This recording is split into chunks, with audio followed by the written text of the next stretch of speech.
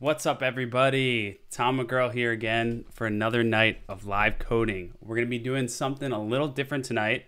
Um, rather than kicking it off with you know some JavaScript or continuing the React Native app, we're going to try learning Rustlang. What up, Noah Byrne? Welcome to the chat. Yeah, so tonight we're gonna, like I said, we're gonna do something a little different. We're gonna follow along with the book called The Rust Programming Language. Uh, the Rustaceans or the Rust community call it the book. It is the go-to guide here for things. What up, Archangel25? Let's go Rust! Woo! Yes, I'm excited. Um, I haven't done Rust before. I've I've touched a little bit. I've you know started a little bit of the tutorial. I've done yeah, the basic Hello World, but we'll be starting over from scratch here today. We're gonna kick it off with the book. We're gonna continue going chapter by chapter and just kind of learn Rust together. Um, if you joined us in some of the past streams, we built the React Native app. You can find that on my GitHub. Uh, you can find that on YouTube. It's Tom McGurl. Uh, we also did building a serverless API with AWS Lambda, DynamoDB, and TypeScript. Also available on YouTube. But now we're gonna go into Rust. You know, I've, I've heard good things. I'm excited. Uh, so let's jump in. I posted a link in the chat to the book we're going to be following. Again, is the Rust programming language. So a special thanks to the authors uh, of the book, uh, Steve Klabnik and Carol Nichols, with contributions from the Rust community. So check it out. It's the go-to spot. We're gonna pull it up here right now. Woo! Pause in the chat. Let's go. It's gonna be hype. I know. It's we're just gonna be reading a book. We're gonna be reading a book and coding, but we're gonna keep it hype. All right. Let's go. So, whoo! Here we go. We got the Rust language book. Um, now, I might have to ask you in the chat because we have a few different options for how we're going to read this. We can do, we got light, which is default, which I, I, I'm not feeling that one. You know what I'm saying? We got rust, you know? So rust for rust. Coal, which is also a little bland. Might be better for the stream though. You, you let me know in the chat. Navy, we can go through it. Navy, Navy kind of gels with my code, you know, my syntax highlighter I got in VS Code. IU or AYU, AU. This one's cool too. So what do you think in the chat? We're gonna go with AU Navy, Coal, or Rust. If no one picks, we're just gonna go with Rust. We're gonna stick with the OG. We're definitely not doing light. How am I gonna see? AU. All right. No. Oh, Coal greater than AU greater than Navy greater than Rust. Really? Coal. Coal is my least favorite. Wow. All right. We're gonna go AU then. Navy looks the best but AU is most readable. All right, let's go with AU because we want to go with readable here. Little contrast. Is that why we're going with the contrast? Thank you, Segun-esque. Appreciate it. Let's go. All right, so the Rust programming language. This is kind of a little foreword to tell you about the version. Uh, we're going to be using the edition 2018. Um, so feel free to read this. We'll just go through it quickly. It just is kind of explaining some of the things that have changed. Um, but really importantly, what I want to point out is uh, the authors here. So Steve Klabnik and Carol Nichols, thank you for your contributions. This book is awesome. I've heard amazing things. Everyone's told me to go here first, and this is where we should learn. So we're diving in. Hey, you, how you guys doing? What up, part-time lover? Yeah, let's go. All right, so we got the foreword. So why are we here? Let's find out. Why are we learning Rust? We've heard cool things. What are we gonna do with it? Let's see. If it wasn't clear, the Rust programming language is fundamentally about empowerment. I'm liking that. Rust empowers you to reach further, program with confidence in a wider variety of domains than you did before. That sounds exciting. And I'm not going to read it word for word. I'm going to kind of skim it. So feel free to read on your end, but I'm going to skim it. We'll skim it together, right? Take, for example, systems level work that deals with low level details of memory management, data representation, and concurrency. This is key, so I'm going to read this part. Traditionally, this realm of programming is seen as arcane, accessible only to a select few who have devoted the necessary years learning to avoid its infamous pitfalls and even those who practice it do so with caution, lest their code be open to exploits, crashes, or corruption. All right, a little bit of, we're going with a little bit of, uh, you know, oh, thanks, Archangel. All right.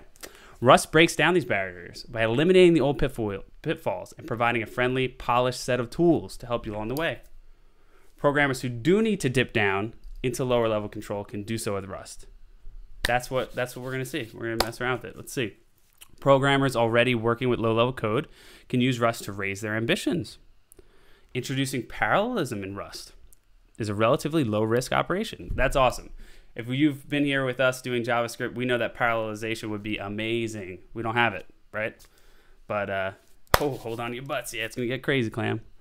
Uh, Rust isn't limited to low level systems programming, though. It's expressive and ergonomic enough to make CLI apps, web servers, and many other kinds of code quite pleasant to write. So that's what we're here for, right? We're trying to learn all the different ways we can use it, see what we can build. So this book fully embraces the potential of Rust to empower its users. It's a friendly and approachable text intended to help you level up not just your knowledge of Rust, but also your reach and confidence as a programmer in general. And that's what we're going to do. We're going to do this here together. All right? So dive in, get ready to learn. Welcome to the Rust community. Foreword by Nicholas Matsakis and Aaron Turon. Thank you for that. All right, here we go. Introduction. Let's figure it out. Let's figure out together. What is it for? Ready? Welcome to the Rust programming language. Woo! We're here. Who's Rust for? Rust is ideal for many people for a variety of reasons. Let's look at a few of the most important groups. All right. Teams of developers. That's us on the chat.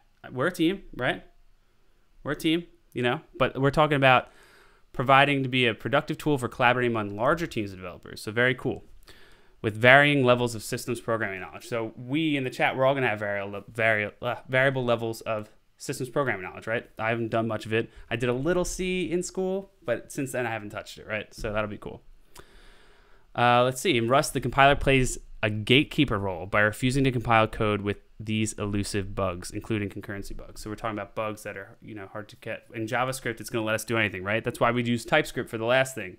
We wanted a little bit of that, you know, that feel. We wanted to check out TypeScript and get a little bit of that safety, but JavaScript letting us play loose, you know. Woo! What up? We got a few more. Thanks Noah for giving everyone the welcome. Appreciate that. All right, so Rust also brings con- contemporary developer tools to the systems programming world. This is something it's been lacking, right? If you've dealt with C, you've dealt with this. Cargo, which we're going to check out in just a bit. It's the included dependency manager and build tool. It makes adding, compiling, and managing dependencies painless and consistent across the Rust ecosystem. Rust FMT, which I haven't messed with yet, ensures a consistent coding style across. Oh, it's Rust format. So yeah, so if you're using the Rust extension VS Code, which we'll dive into a bit, we can just get this hooked up and it'll format your code for you. The Rust language server powers integrated development environment IDE integration for code completion and inline error messages. Sweet. It's also good for students. If any of you are students, Rust is for students and those interested in learning about system concepts. So in, in school, we had an operating systems class. Check out Rust. Companies, hundreds of companies, large and small, use Rust in production for a variety of tasks. Yep, there's a bunch listed. Uh, I just purchased the Rust in Action book. It's a different book than this, but it lists some of the major companies using it and what they're using it for. So really cool. You got AWS using it. You have Azure, so Microsoft, Amazon, big companies. Google's even using it. Open source developers. Rust is for people who want to build the Rust programming language. Community, developer tools, and libraries. So contribute. Maybe we will. We'll check out the issues, see if there's anything we can dump into. People who value speed and stability. This is kind of why I'm here. Not gonna lie, I'm excited to see. I've heard uh, Rust is very quick, can let you do the systems programming in a very quick kind of safe way. Um, if you've dealt with typed languages, that's why I'm pretty excited for this. But Rust is for people who crave speed and stability in language. By speed, we mean the speed of the programmers, programs that you can create with Rust and the speed at which Rust lets you write them. The Rust compiler checks ensure stability through feature additions and refactoring. Something similar to when we use TypeScript, right? Or if, if you've uh, you know followed me before on Twitter, you know that I used Elm for a while. So something like that. Rust language hopes to support many other users as well. Those mentioned here are merely some of the biggest stakeholders. So if you don't fall into any of these groups, which you all do, right? Because we always we're all always students, right? Even if we're not in, in school, we're always learning, we're always students. We are a technically a team of developers, or you know, if you're here and you're learning, you're developing, right? So we're not a company. We might be one day, not yet. All right. So how to use this book? So this is what we're going to do here. We're going to use it together. We're going to use it there's there's a guide here about how to progress through the chapters. We're going to kind of go straight through. Um, so if you are familiar with programming, great. It'll be kind of a review in some of the chapters. If you aren't as familiar with programming, it'll be great because we're going to go through some of the basic stuff. So some of the sections which you'll see here, some of the chapters cover concepts that are similar in other languages, but we're just going to kind of flow right through chapter by chapter. We're going to try not to skip anything for the benefit of everybody, and it's always good to kind of reiterate some of the things we've learned over the years. So we'll dive into that. So this is going to kind of give us an overview of what we're getting into. So we're going to go through chapter one. That's going to explain how to install Rust. right? We're going to get cargo going. We're going to get Rust. Um, chapter two, hands-on introduction to the Rust language. That'll be really fun. We'll start coding, right? Uh, get our hands dirty right away. Uh, chapter three is going to cover features similar to those in other programming languages. So if you're coming from JavaScript, Python, Java, C, whatever, right? Um, it's going to kind of compare some of the concepts we've seen in other language to Rust. So that'll be pretty cool. I'm excited about that. Chapter four to learn about Rust's ownership system. That's one of the really cool things I've heard about Rust. It has a cool ownership system. It's kind of without it being a garbage compiled language, there's a way to share um, variables and memory across, and the ownership is going to kind of be a cool way to see how things are borrowed and shadowed. Excited for that. All right. And then it says, however, you're a particularly meticulous learner who prefers to learn every detail before moving on to the next, you might want to skip chapter two and go straight to chapter three. Um, we're not going to do that. We're to go in order. What up, Pacao? Welcome. And yes, Archangel, back to the basics for sure. All right. We'll get into those chapters later we'll just kind of jump in. So let's check this out. Everyone loves the crab, right? The Rustacean, cool little mascot of Rust. Uh, so it's got some little things here for us to keep out, out, you know, keep an eye for. So if we see uh, Ferris is with a question mark, the code doesn't compile. If we see it like that, right, the code panics. This code block contains unsafe code. It's like a, and then uh, this code does not produce the desired behavior. It's kind of like a, you know. All right. So let's jump in. Uh, here you see a note. The source files from which this book are generated can be found on GitHub. Awesome. Also, fun fact, this book is downloaded with every installation of Rust. So you can open this book once you've installed Rust. So it's pretty cool. Uh, you can download it. It's, it's all free. It's great. We're here. Best documentation ever. Yeah, I'm excited. We're here. Ready? Getting started. Let's start our Rust journey. Come on. Lots to learn, but every journey starts somewhere. And in this chapter, we'll discuss installing Rust on Linux, Mac OS, and Windows. We are on Mac OS. If you're on anything else, you'll see the instructions here. We're going to write a program that prints hello world, or maybe we'll use Cargo to cheat to get a program to hello world, although I think that's the third thing, using Cargo, Rust Package Manager, and Build System. Let's jump in. All right. Installation. It all begins here, right? First step is to install Rust. We'll download Rust through Rust Up command line tool for managing Rust versions, and associated tools. You'll need an internet connection for the download. Well, we have that, right? You're all on Twitch. You're here. You have that, right? All right. So use that internet connection to follow. I'm just kidding. Use it to uh, to download the thing here. Note: If you prefer not to use Rust Up for some reason, please see the Rust installation page. We're going to use Rust Up. Easy. All right. This is just kind of giving you an outline what command line notation looks like. You could see we have this here for our Mac OS terminal here. Um, so let's jump in. I'm on Mac OS, so it's gonna be similar to Linux setup. And so we're gonna install Rust up using curl. So we're just gonna go ahead and copy this. I'm gonna toss this over here. We got my editor over here and let's run this command to install. If you're on Windows, also there's a nice little copy thing here. If you're on Windows, you can just find down here, it's just a, it's a little slightly different installer. It's gonna link you to the website to install. Feel free to do that. Or if you're using PowerShell, right? You could probably just use this.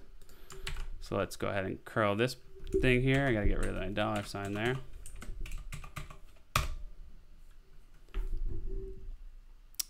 All right, so it's asked me a few questions. Cargo, Rust, Rust up, and other commands will be added to Cargo's bin directory. All right, so let's say we're gonna proceed with installation. So we're getting all these things. We're getting Cargo, which we'll see what that does. Clippy, the Rust docs, ooh. Rust analysis, Rust source, and RLS. So let this install. While this is installing, let's read a little bit further. Okay, so download a script and starts the installation of Rust Up tool, which installs the latest stable version of Rust. You might be prompted for your password. If the install is successful, the following line will appear. And we see the following line. Uh, and here it says to get started, you need Cargo's bin directory in your path environment variable. Next time you log in, this will be done automatically. To configure current shell run source. So we'll just run that to go ahead and put it in there. All right. Now let's skip the Rust up in Windows. Updating and uninstalling. After you've installed Rust via Rust up, updating the latest version is easy. From your shell, run the following update script. So we probably have it, right? Because we just installed it. But to be better safe than sorry, Rust up update. Don't cheat. All right, so uh, there we go. Syncing channel updates, checking for cell updates, stable. We got it. We're good. Uh, to uninstall Rust, which we're not going to do, right? If we got this far and we uninstalled it and I just shut off, come on, that's not what we're doing here. Let's, let's move on. All right, I'm going to see what version I have. You all can do the same. We're just going to do rust c dash, dash version. So I'm on 1.46. Best version. Come on. It's the best version, right? Um, all right, so that's our little semantic versioning information. You can read more about semantic versioning online, Google Semver. Um, there's also, it says here we can go to the beginners channel on the official Rust Discord. Maybe we'll do that. That'd be cool. All right, this is what I was talking about. The installation of Rust also includes a copy of the documentation locally, so you can read it offline. Let's check that out. I'm just gonna clear my terminal here and run rust up doc. Check it out. Very cool. Pretty cool. Look, it has a link right here to the book. That's awesome. And look, it's running right off my file system. Like I said, it's installed it with Rust. That's pretty awesome. So you don't need to be online to check this stuff out. Great. All right. Hello World. Woo! This is the, one of the biggest programs we're ever going to write. You know? Hello World, just classic example. All right, now that we've installed Rust, let's write our first program, please. It's traditional when learning a new language to write hello world. I'm sure if any of you have learned any languages, you've done this. Cool. We're going to try it out. Okay. You can see here, it's got a little note that the book assumes a basic familiarity with the command line. Um, if anyone is having trouble with the command line or any of the, the things as we follow along, feel free to message in the chat. If I can't answer, I'm sure uh, people in the chat would be happy to answer, but I can also do my best to answer any questions. Um, so feel free to ask, but we're going to go ahead and just continue as if we are all familiar with this, but no worries if you're not. All right, creating a project directory. We'll start by making a directory to store our Rust code. It doesn't matter to Rust where your code lives, um, so we'll make we'll make a directory. So what I'm going to do is I'm in my uh, developer here. I'm going to make a new directory because I'll be putting all this code up on GitHub. So let's do, we'll call it learn Rust Live. All right, we're going to jump into Learn Rust Live. And we're going to go ahead and make, well, let's create a projects folder in here because then we'll have our projects. So I'm just to do make dir projects.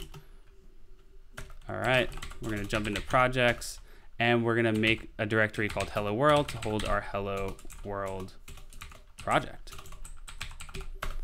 All right, and let's go ahead and cd into there. All right, so we are inside our Hello World folder. Here's the command for Windows, for those of you on Windows. And let's open up our editor. I'm going to go up a level here, up one more level, and I'm going to open up VS Code. And I'll just pop VS Code over here. Okay, so let's make a new source file and call it main.rs. All right. Let's go into our projects. We have our hello world. So it, VS Code's just showing me that I'm already in hello world. And I'm to create a new file called main.rs. Uh, Rust file always end with the .rs extension. If you're using more than one word in your file name, use an underscore to separate them. So something similar to, that you'd see in Python with the underscore. I believe we call that snake case. Um, for example, you use hello world.rs rather than hello world rs. So now open the main rs file you just created and enter the code list in listing 1.1. So let's go ahead and enter that code. Um, also, just a heads up, if you're using VS Code, you probably want to install the Rust extension. It's going to have better syntax highlighting, as well as uh, probably some other features. Maybe Rust format we might be able to get working, but uh, for now, I think it's important just so you have the syntax highlighting so things will look like in your editor what they look like in here. If you're using Vim, you'll obviously have to install something different. If you're using, I don't know, Atom, maybe Sublime Text, maybe you're using something crazier. I don't know. But VS Code is what I'm using, so I've already installed that. All right, so let's go ahead and code out this main function. Um, also, you're to see here, you know, I'm used to JavaScript, so I have two spaces as my tab. Uh, but in Rust, we're to use four. So I'm to go ahead and just change my spaces to spaces four. There we go. And I'm going to print ln it had a nice autocomplete. That's another benefit of having the extension Archangel. Absolutely. Happy to help. And here we go. Hello world. Let's save that. What is it? It's a program. Look, I love this. Listing 1-1, a program that prints hello world. This is almost more text here than the actual thing here. All right, so we're going to save the file, and go back to our terminal window on Linux or Mac, enter the following commands to compile and run the file. Now, um, I'm just going to open up my terminal here below so we can have the code above and the terminal below. Feel free to do it, you know, the same or do it in your, you know, terminal, whatever you want. So we're going to run rust c, which I believe is rust compile, and we're going to compile. Let me just go into my projects, hello world, rust c main.rs. All right. So now we have this main executable. So I'm just going to do dot slash main, and there's hello world. So let's see if it's going to break down what happened in that little step. Here's the command in Windows for those of you on Windows convention. Is there a reason for using four spaces?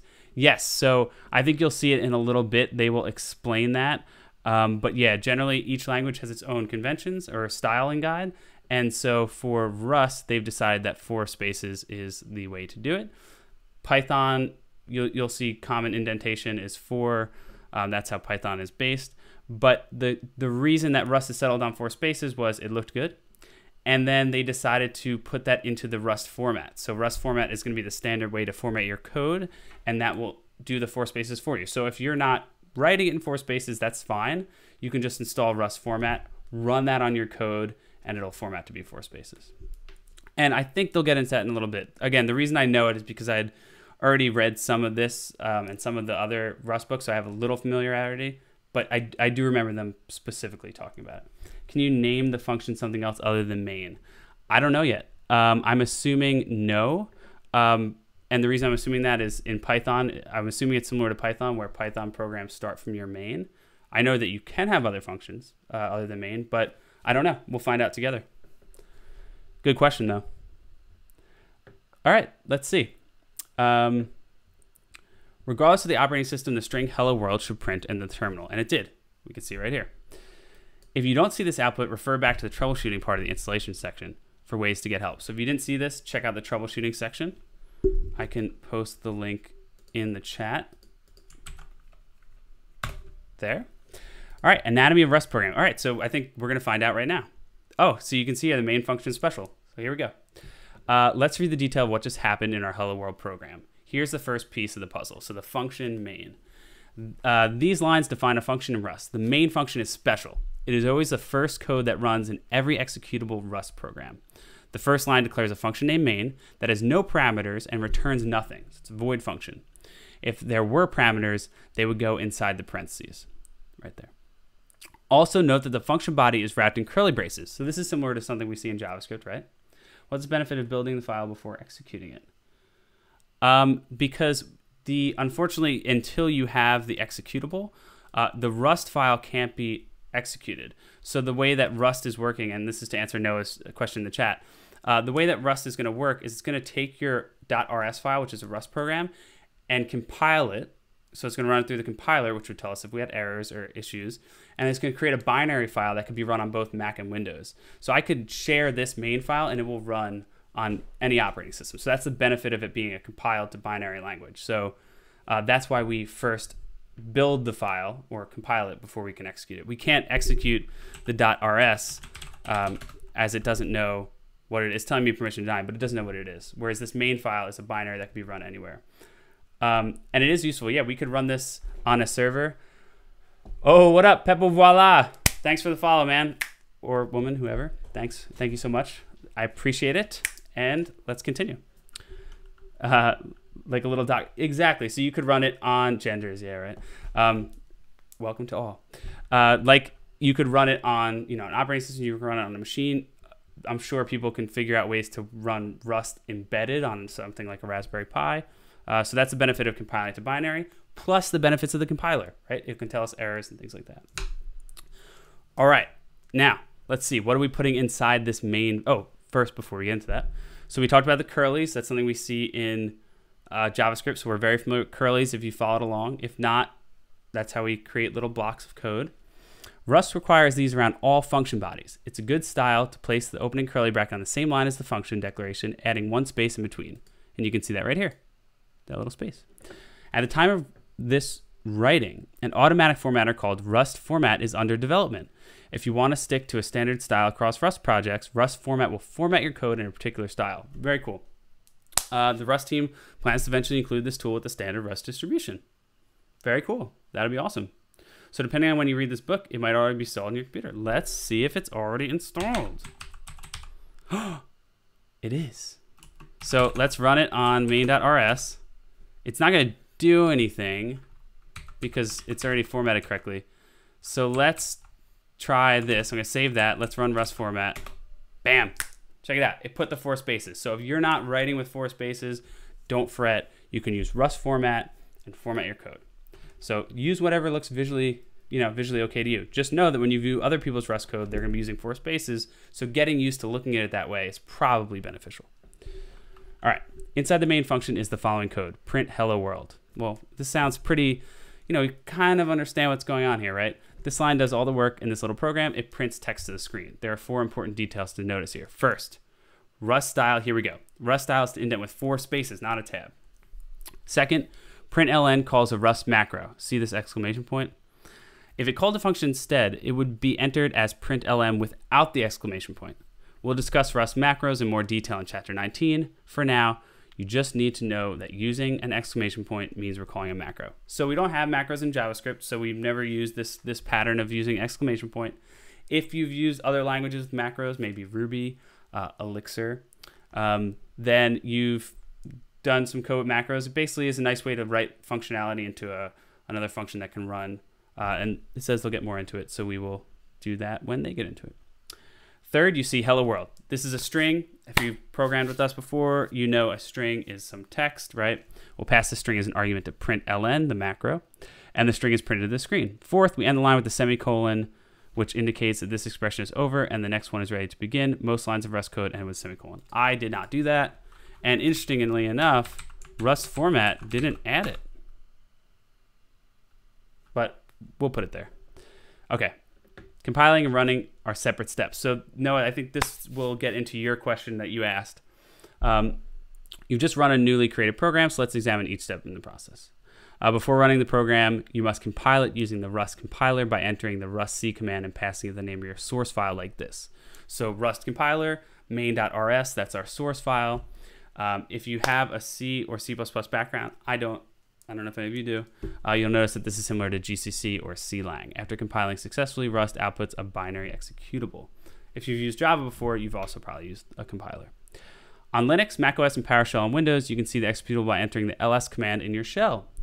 Our Linux and macOS, you'll see two files. And we did that here. You can see we have our main and our main RS. Uh, this shows the source code file. That's the one with the RS extension the executable file, which you'll have a .exe uh, at the end if you're on Windows, but on Mac we'll just see it as plain main, right? And we saw that. Um, if main RS was your Hello World program, this line would print Hello World in your terminal, and it does. So again, we can run .main, and there's our Hello World. Just compiling with Rust is fine for simple programs, but as your project grows, you'll want to manage all the options and make it easy to share your code. Next, we'll introduce you to Cargo tool, so the cargo tool will help us write real world Rust programs. Very cool. I also want to touch upon this part here because this is extremely important. If you're familiar with a dynamic language such as Ruby, Python, or JavaScript, if you followed along here, you've definitely done some JavaScript. Uh, you might not be used to compiling and running a program as separate steps. So Noah, this is going to touch on your question. Rust is an ahead of time compiled language. What that means is it's compiled ahead of time, aka before we run the code. If you've ran if you've ran JavaScript before, your browser will request a JavaScript file, and at the time it gets the file, it'll compile it and run it, right? So you won't know if you've shipped errors to your code. Hopefully you've tested it, right? But you won't actually know if at runtime it's going to run into errors. Whereas a ahead of time compiled language can do some static analysis prior to the code being run, um, especially a language like Rust that's going to have types and it can do some inference and see when it compiles your code if it compiles correctly and it can also do some checking for basic uh, failures or errors such as not handling an error case that could happen and things like that so it's a combination of being compiled and typed language that give us those benefits Um, so it's an ahead of time compile language, meaning you compile your program and give the executable to someone else, and they can run it even without having Rust installed. That's pretty cool, right? If you give someone a, a Ruby file, a Python file, or a JavaScript file, they need to have Ruby, Python, or JavaScript implementation installed. And believe me, if any of you have used macOS, you know that you have one version of Python installed. It's like 2.7, whatever. And then everyone else is using Python 3. So you're either going to pull out virtual env or you're going to install a secondary Python using pip. Don't have to deal with that. If I give you a binary, you can just run it. So very cool, right? Uh, but in those language, you only need one command to compile your program. Everything is a trade-off in language design. This is true. All right, so let's check out this cargo thing. It sounds pretty cool. Hello, cargo. Cargo is Rust's build system and package manager. Most Rustaceans, which, yo, I don't know if we're Rustaceans yet, but we're getting there, right? Let's go. So most Rustaceans use this tool to manage their Rust projects because Cargo handles a lot of tasks for you, such as building your code, downloading the libraries your code depends on, and building those libraries. So it sounds like something like maybe npm or create React app, right? Or maybe um, Mix if you're if you used Elixir. Um, the simplest Rust programs, like the one we've written so far, don't have any dependencies, so we didn't really need this. So we just built Hello World project with Cargo. It would only use part of Cargo that handles your building of the code. So we wouldn't really be taking full advantage of it. As you write more complex Rust programs, you'll add dependencies. And if you start a project using Cargo, adding dependencies will be much easier to do. Cool. Because the vast majority of Rust projects uses Cargo, the rest of this book assumes that you're using Cargo too. So we're going to use Cargo. I'm excited. It comes installed with Rust. If you use the official installer, which we did, um, if you installed Rust through some other means, check whether Cargo is installed by entering the following in your terminal. So we know it's installed because we used uh, the correct installer there, but we could just check the version. And it's the same as our Rust version, 1.46. So seems like they keep those uh, in line. At least they are here. So pretty cool. Creating a project with Cargo. Let's create a new project using Cargo and look at how it differs from our original Hello World project. Navigate back to your project's directory or wherever you decided to start your code. Then on an operating system, run the following. So we're going to create a new program. So we're going to step back into our projects folder and we're going to run cargo new hello cargo. And let's jump in there. And here we have, I'm going to open up my file thing here. Oh, sorry. And here's our hello cargo. Oh, and we can already see there's a lot of stuff here. Well, at least more stuff than there was here. We have a source folder, a git ignore, so it's assuming we're using git. And if any of you have used git, if you've followed along to any of the videos, we've been using it. Uh, this is what's going to be ignored from source control. Um, and I'm sure they're going to go into that. So let's dive in. The first command creates a new directory called hello cargo. Uh, we've named our project hello cargo and it creates its files in the directory of the same name. Go to the hello cargo directory and list the files. You'll see it has generated two files and one directory for us, a cargo toml file and a source directory with the main rs file inside. It has also initialized new git repository with the git ignore file. Git files won't be generated if you run cargo new within an existing git repository. We didn't run it in an existing repository, ran it in a new repository, so created it. You can override this behavior by using cargo new vcs equals git. Git is a common version control system. I'm not going to go over that. We've used it. Um, let's open up this cargo toml, right? Cargo.toml. Ooh. There's my name. There's my email. Feel free to send me inquiries, emails, whatever. That's fine. It's here. It's public. You can see it now. No big deal. Um, Toml. What is a Toml? Yo, they named it after us. It's Tom's Obvious Minimal Language. Let's see. What is this? What is this? Oh, thank you, Rust. I appreciate you. I appreciate this. They named this after me. Uh, Tom's obvious minimal language. Ignore this. I don't think. I think it's probably not. It's probably about. It's probably named after me, right? I mean, uh, no, but it's by Tom Preston Werner, Pradyun Gedam, and everyone else. So this is kind of cool. So if you've used YAML or you've used JSON or you've, you've used XML, or something like that. Um, it's another kind of file. So if you use YAML or JSON, it's probably similar to something like that. So YAML, indent based, right? JSON, you have your curly brackets. Uh, this is a cool version. It looks pretty cool. I think the name Tom's Obvious Minimal Language kind of says what it's going for. Uh, minimal configuration file format that's easy to read due to obvious semantics. Designed to map unambiguously to a hash table. TOML should be easy to parse into data structures in a wide variety of languages. So cool choice, interesting choice. I think. Uh, does YAML stand for YAM's atrocious minimal language? I think it does. Yes, yes, it does. Um, but yeah, this is pretty cool. I think it's pretty clear. Like all this stuff goes under package dependencies. It is an interesting choice though. I think they definitely made a choice here. You know, most languages would kind of be like, what's what's the main thing? Let's go with JSON. Let's go with a YAML file. If any of you, if you, if you remember the last video, we used the serverless framework, right? The serverless framework by default used YAML, uh, but in the TypeScript version, it used TypeScript. So um, this is definitely a choice. Uh, I think it's pretty cool. I think they were like, hey, we can make a choice here. We can not go with something that's extremely common. We can go with potentially what they think is the best. I like it. It's named it's named after me. You know, so very cool. Let's see what it does though. Enough blabbing. Okay, what does it do? The first line, package, is a section heading that indicates the following statements are configuring a package. As we add more information in this file, we'll add other sections. And we can see another section dependencies here. The next four lines set the configure inf configuration information cargo needs to compile your program.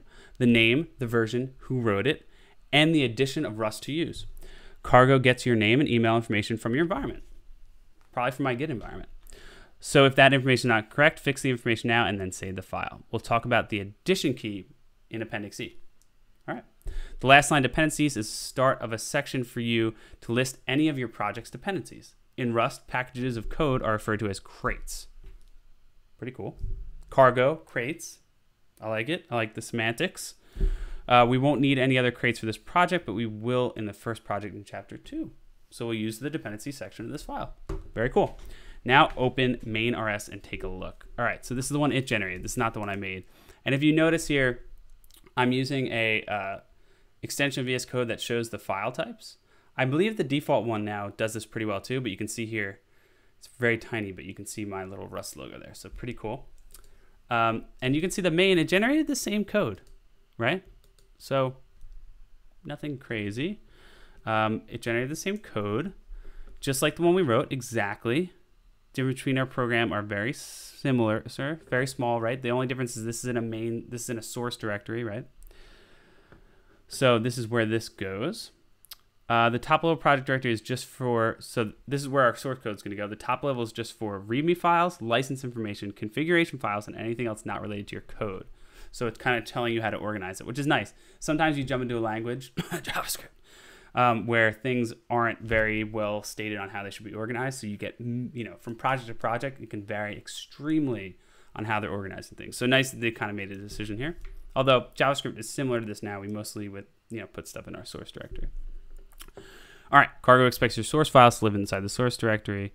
We read that if you started a project that doesn't use Cargo, as we did with the Hello World project, you can convert it to a project that does use Cargo. Move the project code into a source directory and create the appropriate cargo.toml. Pretty cool.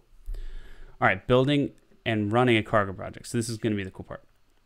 So we're going to take a look at the difference when building Hello World program versus one with Cargo. So we're going to run the command cargo build. Just clear that here.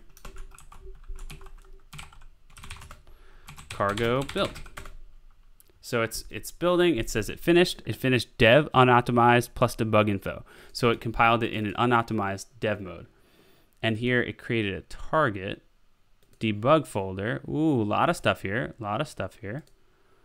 Let's see what we got. Let's see what it actually did. Uh, Hello World should print in the terminal. Uh, well, first we have to actually run it. So let's do it put the executable in target debug hello cargo. So let's run that. So target debug hello cargo. So let's go ahead and run that. Target debug. Uh, you'll notice the, the little period before here. That means it's just going to run. We're basically just navigating this file. And we're going to run it. Hello world. Cool. All right, but whatever. We have the same thing. If anyone runs into error linking with link ext failed exit code 1 on Windows while compiling, just update your .NET framework. Thank you for the tip, Archangel. That is awesome and super helpful. Appreciate that. Um, okay, so we've run it. We did a lot of work, but for the same program. So let's see what Cargo is going to do for us. Notice that this time we didn't see output indicating that Cargo was compiling. Cargo figured out that the files hadn't changed, so it just ran the binary. So we saw the first time that it compiled, the second time it didn't do that, it just ran it. If you had modified, oh, I'm sorry, I jumped ahead. Um, here, if all goes well, hello world should print in the terminal. Uh, this file keeps track of the exact version of the dependencies. So that's this lock here that we have. So it would, if we had dependencies, it would show up right here, right? Um, we just built a project with cargo build and ran it with this. But we can also use cargo run to do both in the same command. So we don't have to know that the file's in target debug hello cargo. We just run cargo run and there, it ran it and printed out hello world. Very cool. So we didn't see the compiling step. You see it here. We didn't see it here, and that's because it already happened. If we modified our source code, uh, it would recompile. So let's modify our source code and get it to recompile. So instead of hello world, I'm going to say hello Twitch. And let's rerun it. And you can see now we actually do get the compiling step because I changed the code. Very cool. Um, Cargo also provides a command called cargo check. This command quickly checks your code to make sure it compiles, but doesn't produce an executable. That's kind of cool. And hello again to you, part-time lover. Um, so let's try it. So it's going to make sure that it compiles, uh, but not actually run it. So we're going to run cargo check. Um, and just to see, let's kind of mess this up a little bit and see if it fails. So I'm going to remove the double quote. So it's going to, it's not actually terminating this string. You can see it's complaining right here in my editor. And if I highlight, it says unterminated double quote string. I'm going to save it though, and I'm going to run cargo check. And you're going to see right there, we got an awesome Rust error message. Another thing Rust is very popular for, fantastic error messages. And it tells you right here, unterminated double quote string. And it points to that piece of code. It uses snake. You can See it's going around here? See this? Goes around, points right to the thing, and tells us where the issue is. Um, and then it tells you a little message aborting due to previous error. So very cool. So check will allow us to do that without trying to run the code. Uh, now I'll check again and we're good to go. So pretty cool. Um, why would you not want an executable? Hmm. Often cargo check is much faster than cargo build because it skips the step of producing the executable. If you're continually checking your work while writing the code, using cargo check will speed up the process. As such, many of our stations run cargo check periodically as they write their program and make sure it compiles. Then they run cargo build when they're ready to use the executable. Now, if you were with us when we did the React Native, Tom Morrow, can you move your face to the top right? Oh, yes, I'm so sorry. I absolutely can. And in fact, I can make my face much smaller so that I'm not annoying all of you. Good call. There we go. Let me delete this little stream thing here because we don't need that. Okay, can everyone see now? Is that better? All right. And I'll, yeah, good call. I'll move it around as needed. I can also shift my terminal back over. But hopefully that is still working for you. Uh, Part-time lover, just give me a thumbs up if that looks good, but I'll keep it like this anyway.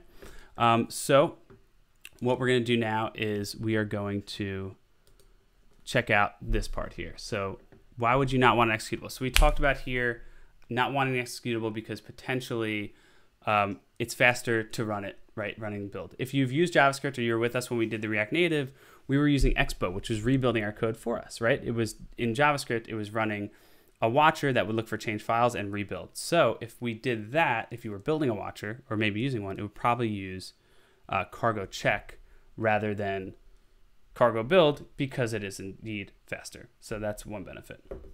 All right, so let's see where we're at.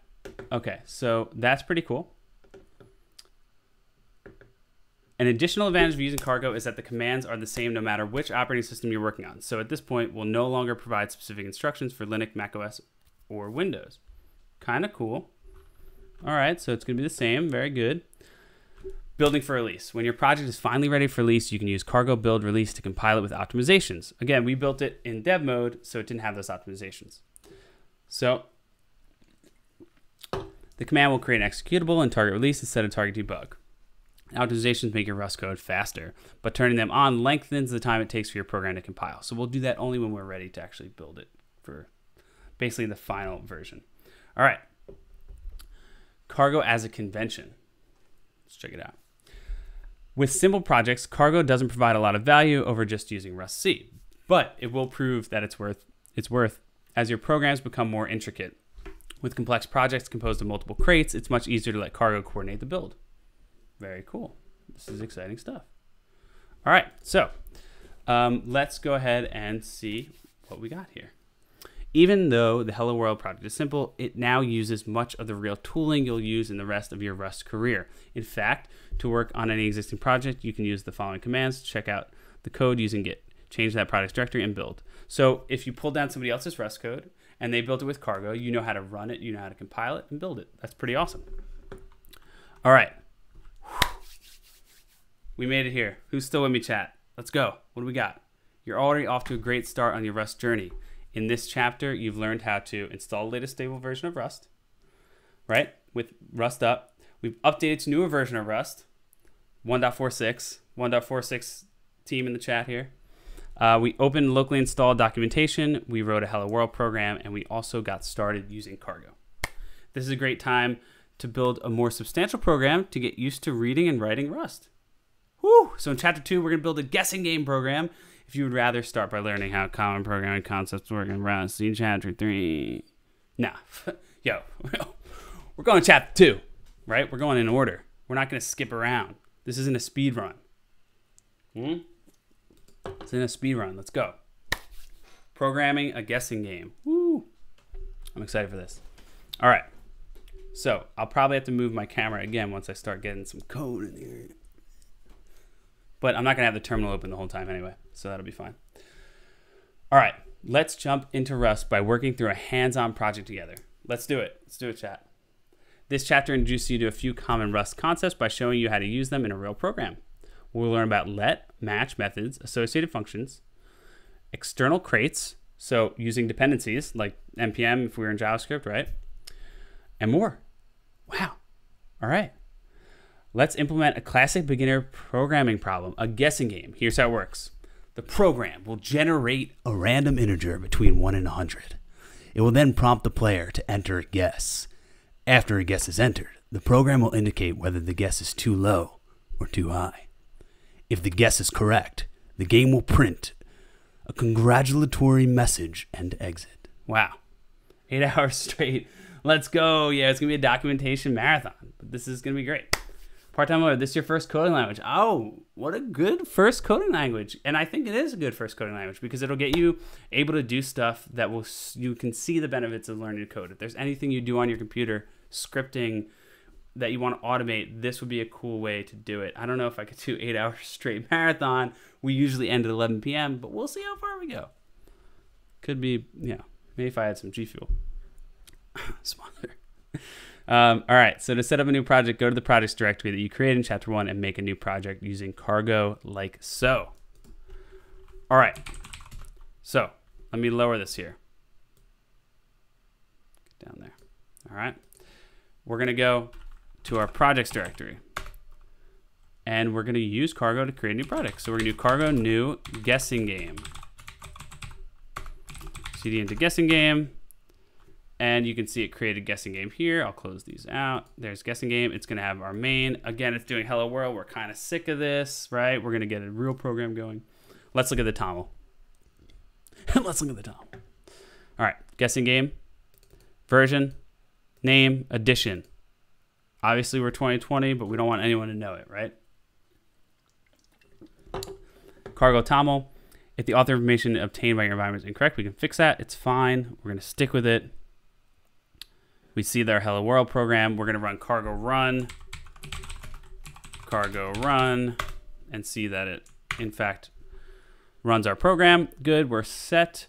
The run command comes in handy when you need to rapidly iterate on a project, as we'll do this with this game. Quickly testing each iteration before we move on to the next one. Great. So let's write some code. Processing a guest. A guest, sorry, guest. The first part of the guessing game program will ask a user for input, right? How can we let them guess if they can't input? Maybe they'll talk, maybe they'll, they're going to type it, right? Uh, we're going to process that input and check that the input is in the expected form. To start, we'll allow the player to input a guess, enter the code in listing 2.1. Okay, so let's enter this code and then I'm sure we will get to go through exactly what it is. So Let me just make sure I'm dealing with the right main RS here. Okay. So the first line here, if we're, I'm going to kind of talk about this as I go, even though I'm sure we'll dive into actually what it's doing. I'm going to kind of infer or guess. This is what I would do if I was learning it myself. So I'm kind of just going to speak out loud to what I'm thinking. Um, but I'm assuming this is an import, right? Um, something similar to import blank from blank in JavaScript or from blank import blank in Python. Uh, so it looks like standard IO is what we're importing, right? Standard error, standard in out. So far, so good. Uh, semicolon. And it gave me a nice little message. Let's see, what does this say? Wow. Yo, fam, that's pretty cool. That's pretty cool. It gives us the documentation like that. I maybe, I've never seen this. I maybe TypeScript or JavaScript does this. I have not seen this. This is really, really cool. Uh, wow, I'm impressed. Okay, function main, print ln, instead of hello world, we're gonna say guess the number. All right, uh, please input your guess. And we'll, we'll, you know, we'll stick to whatever they're doing with the lines. Input output library, yep. IO, great input, pun intended. Um, all right, let's say please input your guess. Let all right so here what i'm uh, we know the first two are prints. Here what i'm guessing is we're declaring a new variable. And if i could guess and i like i said i've seen a little bit of rust so i have an, an idea. I'm not totally guessing out of the blue. All right. Uh, mute means mutatable. Um, but we'll we'll get into that uh, it's saying that the variable is not used that's fine we'll get there in a minute although i do want to point out that it says variable does not need to be mutable so i guess mute does mean mutable Correct. It is the input output module from the standard library. That is absolutely correct, Archangel. Uh, so here, mute, we're saying that it's mutable. Uh, Noah's with the question in the chat. Sorry if I missed it. What was the extension that let you highlight the standard library, see what it was? Um, so I believe it's just the Rust language extension. So here, I'll open up my extensions and I typed Rust and I have this one installed. Rust for Visual Studio Code. Um, it's the Rust programming language. It should have around 600 uh, 40,000 downloads. And I think that's the only one I have installed related to Rust. So it must be that one. No problem. Yeah, it's definitely, I mean, I think that's super cool. I always like to take advantage of this, this stuff. And so as we surmised, mute means mutable, but it's complaining because we haven't used it yet. Um, I'm excited to see what these double colons are about. It seems very Elixir or Ruby-esque. Um, also, my thing, I'm going to have to change this. I'll have to change this at a higher level, like in my settings. Um, but for now, I'm just going to go ahead and just change it to indented user spaces just for now. But obviously the format will, will do this for me. Um, so standard in, so IO standard in, read line, it does some auto completion here. Uh, we're going to just copy what it's saying to do here and mute guess. All right dot expect. So this must be if it's like an exception, almost like a catch, fail to read line. All right. And then we'll print ln you guess and this is this is clearly a template string uh, very similar to python um, where we are whatever we put here is going to be inserted here so if you've used python um, I'll just type it down here. If you use Python, you can do a string format. So if we had a string that says hello, and I put this, and I, oops, sorry, hello with that, and I do dot format, I can put a variable here or another string. So I could do something like um, hello chat, right? And it'll input that there. So that's exactly what's happening here, but we're not calling uh, dot format on it, right? Because it's a functional language. So we're passing two arguments to this function. So pretty cool. All right, let's see what it's doing. It's going to explain it to us. So the code contains a lot of information, of course, right? But they had us write it. That's why we jumped into chapter two. Let's go over it line by line. To obtain user input and then print the result as output, we need to bring in the IO, which as Archangel mentioned is the input output, output library into scope. The IO library comes from the standard library, which is known as STD. So a lot of uh, languages have a standard library. Node famously does not, but it there is a project that is bringing one, although Deno, the new version of Node, TypeScript, written in Rust, written in Rust, does have a standard library. AJVN line 11 at mute. That's pointer to a mut- mutable variable so it doesn't copy it, right? I am not sure. I will. I think it's going to tell us in a second, but I believe you're right, um, because we know that guess is mutable, and at mute I am sure will be a pointer to that variable. But let's find out. Um, maybe it does. It looks like the way it's doing it, it might actually store. Yeah, it'll actually store the input into that originally created variable, I believe, because it's mutatable. But we will find out. Great question, AJVN. I think we will find out in a second. So um, we have our standard library input output library pulled in. Great, and that's what this line is. By default, Rust brings only in only in a few types into the scope of every program in the prelude. Let's see what the prelude is. Rust comes with a variety of things in its standard library. However, if you uh, had to manually import every single thing that you use, it would be very verbose. But importing a lot of things that a program never uses isn't good either. So the prelude is a balance. It's, it's bringing in stuff that's commonly used. Sounds like cool. Okay, so um, if a type you want to use isn't in the prelude, you have to bring that type into scope explicitly with a use statement. Using std colon colon io standard io library provides you with a number of useful features, including the ability to accept user input. Mm. All right. The function syntax declares new function. We saw this before. The parentheses have nothing inside them, so there's no arguments to the function. Again, we covered that. And we start our function body with the curly brace. We learned about println macro, right? That's what the exclamation point is. We're printing guess number. Please input your guess. Uh, this code is printing the prompt to the user. All right, here's the nitty gritty. We're gonna get into AJVN's question here. Storing variable values and storing values with variables, sorry. Next, we'll create a place to store the user input like this. Let mute guess equal string new. Now the program is getting interesting. It sure is, Rust. It sure is.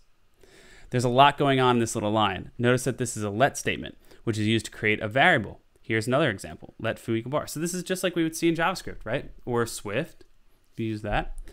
Uh, this line creates a new variable named foo and binds it to the value of the bar variable. In Rust, variables are immutable by default. If any of you are not familiar with the term immutable, immutable, it just means whether or not it can be modified. Robot Tudo, thank you for the follow. Appreciate it. Hope you're enjoying learning Rust with us. So, um, mutable means it can be changed. Immutable means it can't. Mm, D, nice. Thank you for the follow. Hope you're enjoying learning Rust. Thanks everyone in the chat too for participating. This is really fun. I'm enjoying it. So thanks for the follows, everybody.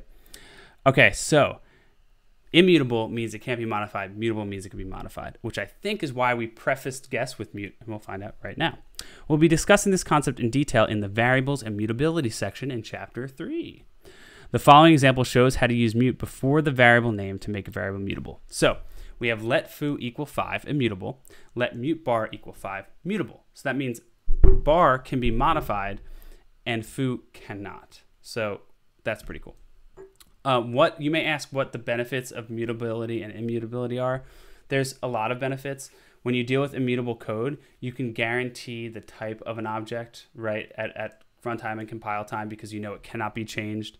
Um, another benefit of um, immutable code is you know that something can never be changed, so it's easy to reason about what happens to a value. You know that it's not going to change, it's always going to have a certain value and you create if you want to modify it you would create a copy of it and then modify that. So it makes things easy to reason about. Um, that said uh, it does make things like you know you'll have to copy stuff more so if you want to modify an object you'll have to make a copy of it and add to it. So it does use more memory but on the types of machines that we are running code today that's actually not the bottleneck right so it's actually pretty beneficial to have immutable code because it's type safe and adds safety and can be fast because we know that the program can make inferences about that thing more easily. Then if you have mutated code, then at any given time, the value of that thing can be anything. Um, and in, in not typed languages like plain JavaScript, right, it could not, not only be any type of number or string, it could be anything. So you can go from a string to a number and, and back and forth. So there is benefits in immutability, and you'll see a lot of pure functional languages will use immutability because of its advantages. Uh, so in this case, we're using mutability because we're going to accept user input and we want to let them modify the value of guess. Okay. Note that the comma com the slash slash is a uh, comment. So that's just like JavaScript, right? Uh, so we could put, you know, this is a comment, right? Very cool. Let's return to the guessing game program. All right, so you know that let mute guess will introduce a mutable variable named guess, a changeable variable named guess.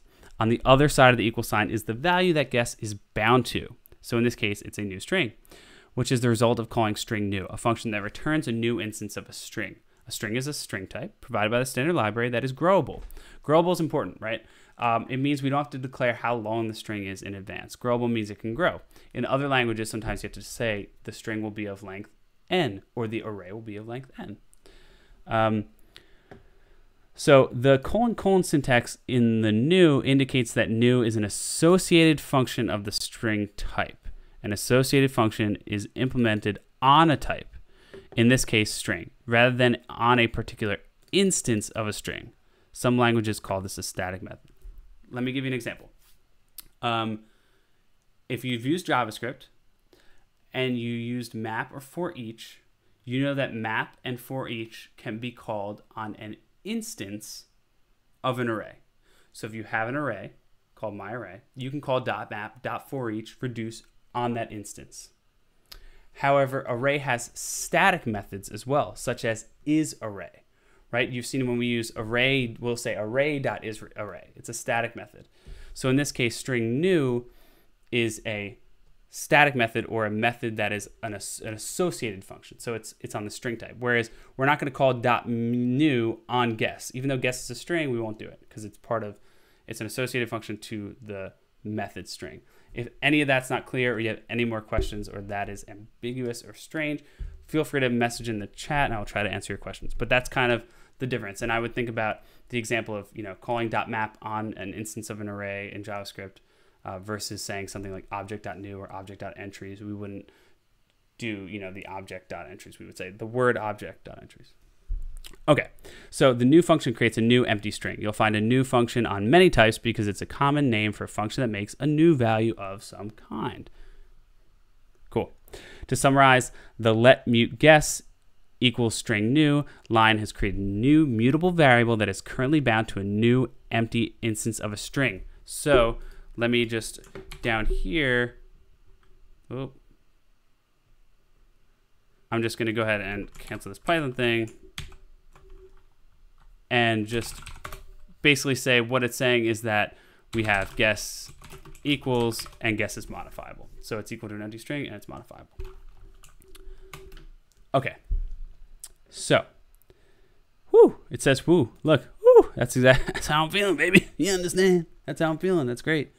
Recall that we included the input output functionality from the standard library with used standard IO uh, on the first line of the program. Now we'll call the standard in function from the IO module. So we're going to actually use something from the IO module.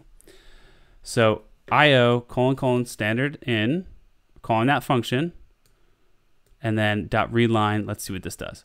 If we hadn't put the use standard IO line at the beginning of the program, we could have written this function call as standard IO standard in. So basically what it's saying is by doing this, we don't have to type this portion anymore, this standard colon colon. It's saying we're going to be using this kind of like namespace it. Now we can just use IO colon colon standard in. And look, I'm hovering and it's giving me the instructions with the link to the docs. Let's go. This is so sick. I love it. Um, okay, but because we put that, we can actually just reference it as IO colon colon standard in. The standard in function returns an instance of standard IO standard in. See capital S here. A handle to the standard input stream of a process. So we'll get into this in a second. Which is a type that represents a handle to the standard input for your terminal. So the standard input for your terminal is what we're, when we type. That's standard input. The job of readline is to take whatever the user types into the standard input. So whatever I type in the terminal and place that into a string. So it takes that string as an argument. Uh, the string argument needs to be mutable so the method can change the string's content by adding the user input. Let's break that down. All right. It's saying read line will take the input from your terminal. So it will prompt you for terminal input. It will take what it gets from the terminal input and put it in whatever you put here as the first argument. It has to, though, whatever variable we're putting there has to be mutable. Otherwise, it can't put it there. If it was immutable, it wouldn't be able to change it.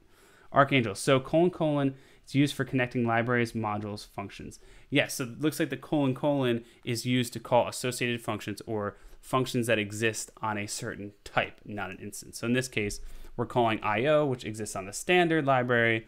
We're calling standard in or readline in this case, which exists on standard in of the IO library. So yes, so it's looks like they're associated with those those actual um, they're static methods essentially. So if we had an instance of something, it wouldn't be the case that we would use colon colon.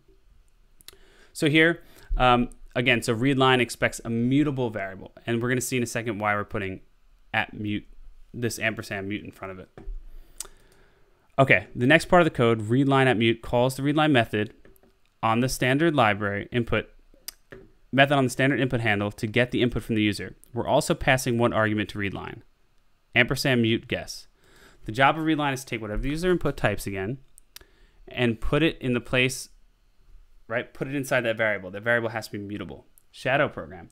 How did you get the book like that on the left? Ah, great question. So the way I split my screen up to left and right is I use this app called Rectangle. Um, actually, in this case, I'm using the old one called Spectacle. Uh, it's a window manager for Mac OS, but the new version is called Rectangle. So check it out. It's very cool. Oh, well, you mean like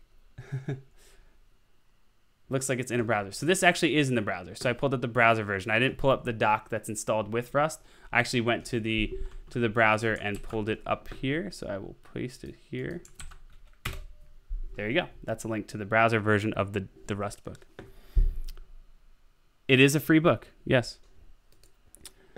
Um, so, and it's it comes with every installation of the Rust language as well. So it's on your computer if you've installed Rust. But yep, it's free documentation. All right, so the next part of the code. We saw this, so we know that the string argument needs to be mutable so that it can take whatever the user inputs and put in that string. Will Rust help you get hired? I think it will. It depends on what you're trying to do. I think it's going to help just be a better programmer. So, yeah, possibly. Okay, the ampersand. The ampersand indicates that this argument is a reference. So this goes back uh, to what, if we scroll up in the chat, we had a question here regarding this from AJVN. This goes back to your question. Um, so the ampersand indicates that this argument is a reference, so you're correct, which gives you a way to let multiple parts of your code access one piece of data without needing to copy that data into memory multiple times. So it's almost like allowing, let's say I have my phone, right? This is a cool way to think about it. Let's say I have my phone. If I want to allow other people to access my phone, I could either make a copy of it, and hand it over to them, or I could tell them where it is and they can come get it. And so that's what a reference is. It's saying, hey, my phone or my my variable is here. If you need to borrow it, come and get it here. It's in one place, and then we're all referencing the same one. So we're not making copies of guess. We're using the mutable guess and we're using the reference to it. So very different than if you've done JavaScript per se. Like if you've done JavaScript or Python, uh, this isn't something. If you've done C, you've probably deallocated. You know, you've referenced and used ampersands, but um, this is what's going to make Rust different, right? Rust is not garbage collected. We'll get into that. But the important thing is it's going to make us manage memory and make us do things in a way that is what's ultimately going to allow our programs to be fast. All right, so let's see. We got. Um, it'll help you learn about things that will lead to the tools that will help you get. Yes, no, it's definitely going to help with that. It's also just it's going to teach us lower level systems programming, which will allow us to write scripts. And anytime you learn a new programming language, listen, whether you use it at work or you use it directly, uh, you're going to gain the benefits. Especially learning a systems programming language, it'll teach you a lot about programs. That's why in school we learn about Java and, and we start with Java. We also learn about C and assembly. It's just nice to see what's going on. And hey, it doesn't hurt to learn a fast typed functional language like Rust that's extremely popular and can let you do some really powerful things on your machine. What's the downside to references? Why not always use them? That's a great question. So when we are modifying something, we will use references. Why not always use them is a great question. So a language like JavaScript, you'll often see us using the spread operator or doing things where we copy um, values, and that's so that we can avoid mutation. So giving something a reference to something that's mutable lets that thing mutate it. We actually are letting readline mutate this variable, which is great for what we're trying to do. But in a program with a lot going on, when you're passing things around, you don't want to let things mutate uh, your reference arbitrarily. And that's because you want to be able to reason about what's happening in your code. You want to know that something will stay what it is regardless of what function it gets passed to. If you pass your code to a function that, let's say you pass A and B to a function called add, you expect it to return the result of A and B. But what if it returned the result of A and B, but at the same time converted B to a different number or to a negative number? Um, so that's what the downside of using references and, and mutation is, is it can do, you can have some weird side effects if your code is doing weird things. Um, and, but the benefit of using a reference here is, is we're actually able to manage who can manipulate things. So it's a little more controlled. So I'm, I'm, sure we'll learn more about that as they, they start to explain it, but I think it's kind of cool. Definitely a little bit of overhead, right? This is not something we would deal with in JavaScript. We could just mutate whatever the hell we want, right? So let's see. So it gives us a, a reference, right? With let's um, gives you a way to let multiple parts of your code modify it. Okay, so here we're going to dive into a little bit. References are a complex feature, and one of Rust's major advantages is how safe and easy it is to use references. You don't need to know a lot of those details to finish this program. For now, all you need to know is that like variables, references are immutable by default. Pretty cool. Hence, you need to write ampersand mute guess rather than ampersand guess. So that's cool to make it mutable. Chapter 4 will explain references more thoroughly. So we'll get there, right? We'll dive into chapter 4. We'll get there. Why they call it a variable if it's not a variable, not mean. Uh, it, yeah, that's interesting. It, a lot of languages like JavaScript will call it a constant. Um, I think this does have constants. Rust does have constants. Um, and we'll see. I think the technically the reason it's called a variable, even if it's immutable, is because of a feature we'll see in a little bit called shadowing. Um, we'll get there. It, it is variable, even though it's immutable. We'll see in a second. Um, okay, handling potential failure within the result type. So this is what the expect is. We're still working on this line of code. Damn, we've been going at this one line, but let's see. We're still working on this line of code, although we're now discussing a third line of the text. It's still part of the same line, and that's why we have our dots and the nice indentation. The next part is expect fail to read line. When you call a method with foo, in the bracket syntax, it's often wise to introduce a new line and other white space to help break things up. Otherwise, we could have written it like this. So it's showing you we could have written this with one line, but it looks nicer if we break it up like this. And I agree. I think it looks nice. So we'll stick with it. However, one line is difficult to read, right? As mentioned earlier, readline puts what the user types into the string we're, we're passing it. So it puts what I've typed, blah, blah, blah, blah, into guess, right? Into the string we're typing but it also returns a value. In this case, IO result. So that's a type. Result has a number of types named result. Rust has a number of types named result. It's in its standard library a generic result as well as specific versions of submodules such as iResult. So that it's a type. So if remember when we use TypeScript, we had types. Result is a type, and this is a specific version of a result. So imagine in TypeScript we have HTML element. This is like HTML input element right? A specific type. For result, the variants are okay or error. So it's a union type of either okay or error. It can be okay or it can be an error. The okay variant indicates the operation was successful and the inside and inside okay is the successfully generated value, that string that we typed or we will type. The error the error or error variant means the operation failed and error error contains information about how or why the operation failed. So it's saying that standard in can return a type. The type is IO result. IO result can either be okay and have the value and we can go on with our day, or it can be an error and it'll contain that error. And if it's an error, it'll go to that expect. And so you can see here, I'm just going to demonstrate something. If I get rid of that, it's going to say, whoa, whoa, whoa, whoa. Whoa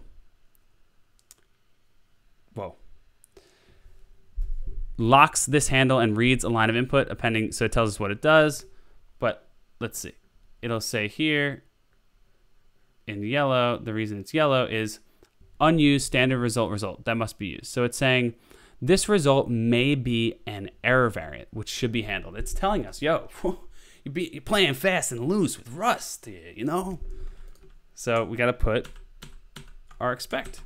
So pretty cool. This is like one of the benefits, right? So if your input is, for example, one, two, three, will it throw an error as it's not a string? Will it convert it to a string automatically? Great question.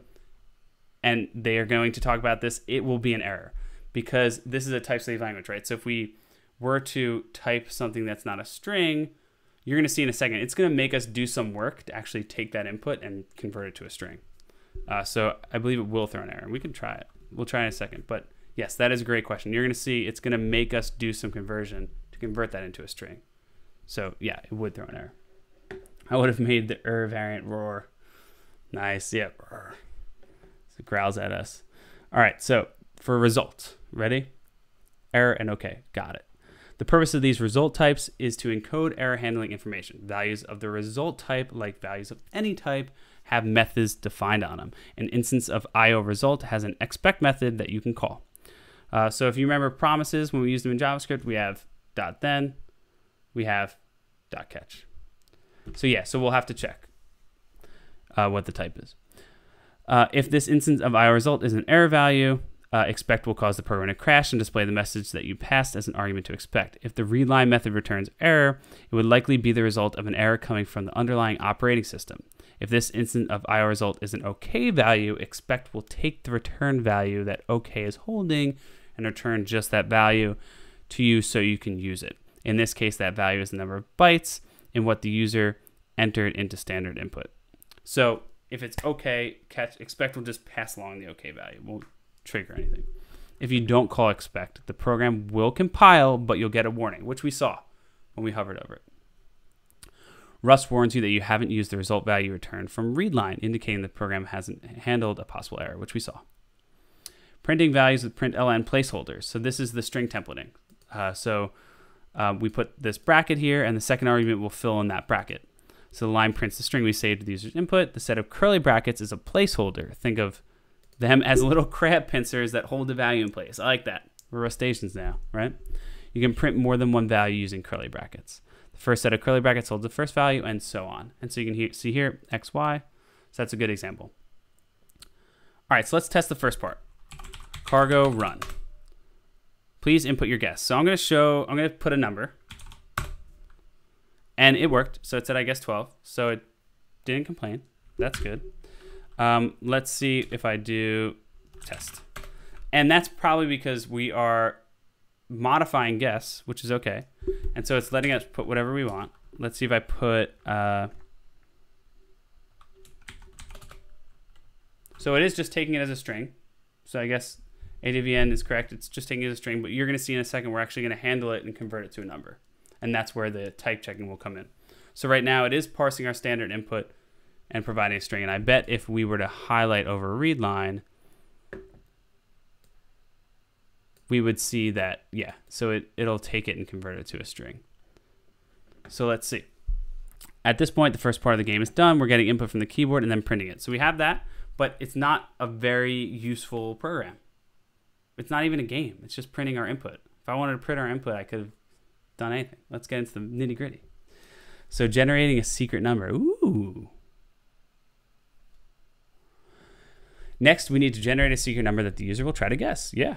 The secret number should be different every time so the game is fun to play more than once. Let's use a random number between 1 and 100 so the game isn't too difficult but creates some level of difficulty. Um, Rust doesn't yet include a random number functionality in its standard library. However, the Rust team does provide a rand crate.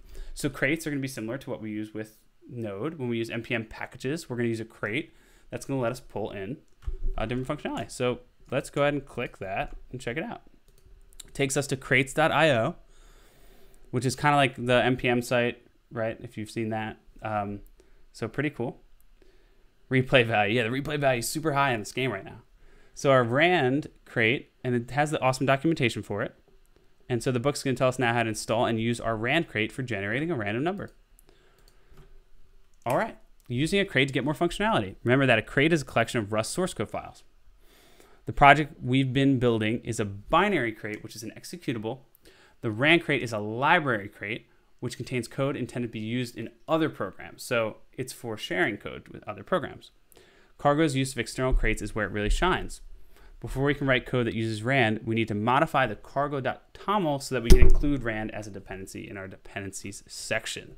So let's go over to our cargo.toml. Remember, yo, any of you forgot, cargo.toml stands for Tom's. Come on. Obvious markdown language, right? I think, right? What does it? Obvious minimal language. It's named after me. I don't even know. Come on. Tom's obvious minimal language. Very cool. All right, so let's add rand, randy, as a dependency here, 0.5.5. Now, we could do this. If you look here, if you're familiar with package managers in general, you could also just look here and see the version that's the latest. Um, we'll use the version that the book says because we don't want to get messed up and you know we'll just stick with what the book says. So we'll go ahead and use rand 5.5 so this is semantic versioning again and that's good. In the cargo.toml file everything that follows a header is part of a section that continues until another section starts. The dependency section is where you'll tell cargo which external crates your project depends on.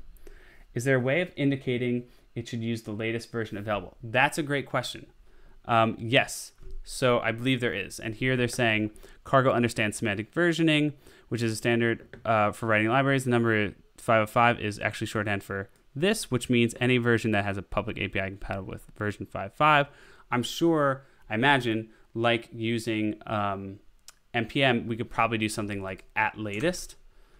But let's find out because that's a great question. Cargo, we're going to search cargo.toml specify latest version. Specifying dependencies. Ah, so here, cargo should update the version if the latest. Uh, let's see. Is there another way to specify? Is there a way to actually specify latest? So sometimes, let's see, latest release would not update to. So it looks like you can specify versions like this, greater than or less than. I don't see anything with at latest, although generally, if it's if I'm thinking like npm, when you run the install command, you'd say latest to get the latest, but you generally don't want to always update to latest because you want to make sure the version you're using works. So you usually stick to a certain semantic versioning number, whether it be usually you'd stick to a, a given major, a given minor, and allow your patch to be flexible, right? Because that's non-breaking changes. Um, but I'm sure when we install it, we could do this command. Is rand supposed to give you a random number? It looks like you're telling it the number. Good question. So yes, rand is supposed to give me a random number. What I'm doing here is not telling you what number, I'm telling you what version of the rand library I should be using. That's a great question. So this is saying I want to use version 0.5.5 of the random number library. Um, so you can see here, in this case, we'll specify rand crate with the semantic version specifier Cargo understands semantic versioning, sometimes called semver, which is a standard for writing version numbers. So you can read more about semantic versioning. It basically has major, minor, patch. That's what each section is. A patch will be when something's updated without breaking changes. A minor will be something's updated without breaking changes, possible deprecations, but possible added features. And a major patch means, hey, we might break some of the old features. So that's why we can specify this, which means any version that has a public API compatible with version 0.5.5. So let's do that because um, I think as long as we're compatible with this, we should be fine to go ahead and continue working. Okay, now without changing any of the code, let's build the project. So let's run cargo build. It should pull in our latest dependency, which is rand. Um, so I have to save this first. So you'll see nothing happened. So I'm going to save that file blocking, waiting for file lock on package cache. You can see something running here. Ah, it might be because I have a file lock on this because I have it open. Let's cancel that. Waiting for file lock on package cache. Let's see what this is. There we go. Blocking with updating crates IO index. There we go. Building, compiling, rand core, rand core. That sounds hardcore. So it's pulling in rand core. All right, and finished. So we now we have that random number package. Now we can use it. That's awesome. Let's go ahead and use it. All right, so you may see different version numbers, but they're all compatible with the code. That's good. Thanks to semantic versioning. Now that we have an external dependency, Cargo fetches the latest versions of everything from the registry, which is a copy of data from crates.io. Crates.io is where people in the Rust ecosystem post their open source Rust projects for others to use. Pretty cool. Thank you to everyone who has contributed to crates.io. We appreciate it, and your hard work is allowing us to benefit now. So that's awesome. So thanks anyone who contributed. After updating the registry, Cargo checks the dependency section and downloads any crates you don't have yet. In this case, although we only listed Rand as a dependency, Cargo also grabbed libc and rand core because rand had a dependency on those packages. So this is very similar to what we'd see in the Node ecosystem with npm or the Python ecosystem with pip, right? Uh, if you immediately run cargo build again without making changes, you won't get any output because it's already finished, right? It's already done it once. Okay, so let's skip over here. If you open up source main rs file, make a trivial change, and then save it and build again, you'll only see two lines of output, compiling and finished. These lines show cargo only updates the build with your tiny change to the main.rs file. Your dependency haven't changed, so it doesn't do anything with them. That's awesome. That's fantastic. Okay, ensuring reproducible builds the cargo.lock. This is going to be like our package lock, right? It's going to specify which versions you're currently using and it'll be able to reproduce that. So it has a mechanism to ensure you can rebuild the same artifact every time you or anyone else builds your code. Cargo will use only the versions of the dependencies you specified until you indicate otherwise. Very cool. So it just is going to lock it inside that cargo lock. Uh, to answer uh, to this problem is the cargo lock file, which was created the first time you ran cargo build, and now your guessing game directory, when you build a project for the first time, it figures out all the versions you need. So here we have our cargo lock, and it has all the versions. So let's look. Let's see. We got Win API, Rand Core, Rand, libc, guessing game. So pretty cool. All right, updating a crate to get a new version. When you do want to update a crate, you can provide another command, update, which will ignore the cargo lock file. So if we want an update, we can run cargo update. Pretty cool. Uh, let's run it. And we should get the latest version of Rand. Updating crates.io index. Cool. Um, and let's see, did anything change? We got five, six. So it updated us to keep us in line with our semantic versioning. So we got 5.6, which is what they said here. If you want to use RAND version 6 or any other version, you'd update Cargo YAML to look like this. Next time you run Cargo build, Cargo will update the registry of crates available, reevaluate your RAND requirements according to the new version you've specified. Very cool. All right, so let's get into generating this random number. So it says here, the next step is to update source main as shown in 2.3. So let's update our code. So first we're going to pull in rand. So similar to what we did before, we're going to say rand and we're going to pull in RNG, which we'll figure out what that is in a second. We're printing guess the number and we're going to create a immutable variable. So immutable, meaning we can't change it.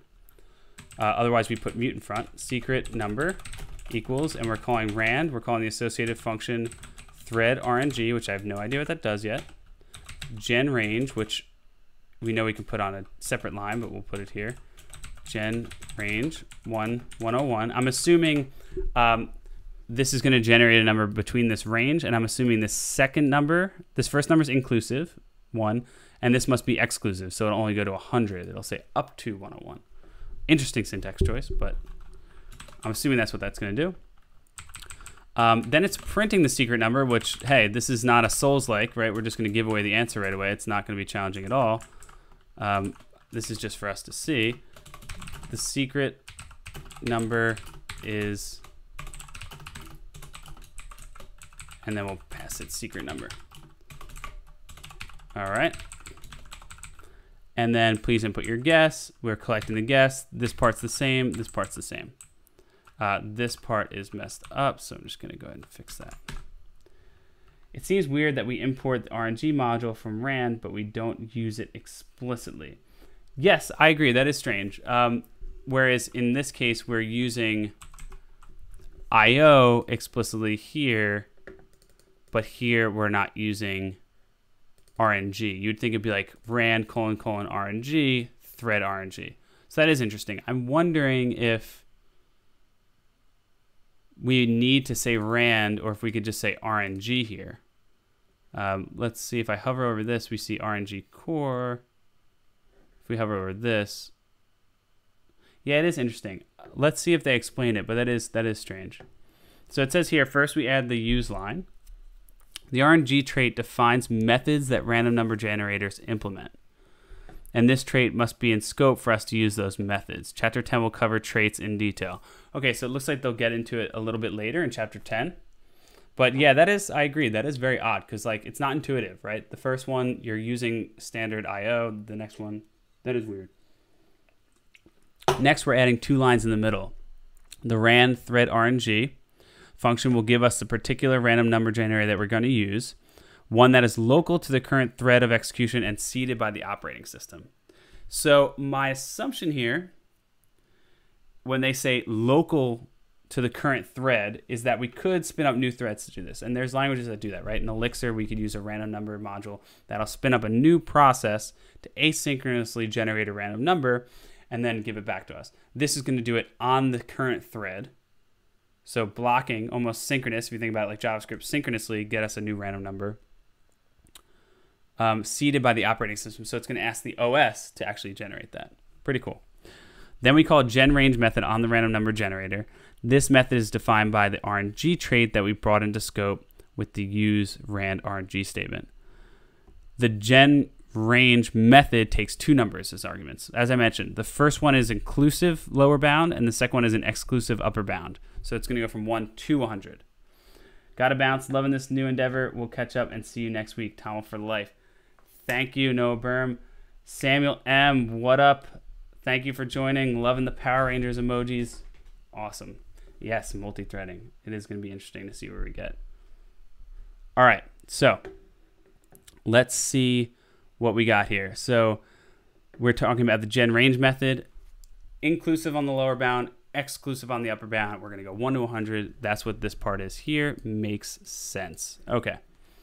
Let me move. Sorry, I'm got to move my camera out of the way here so you could all see.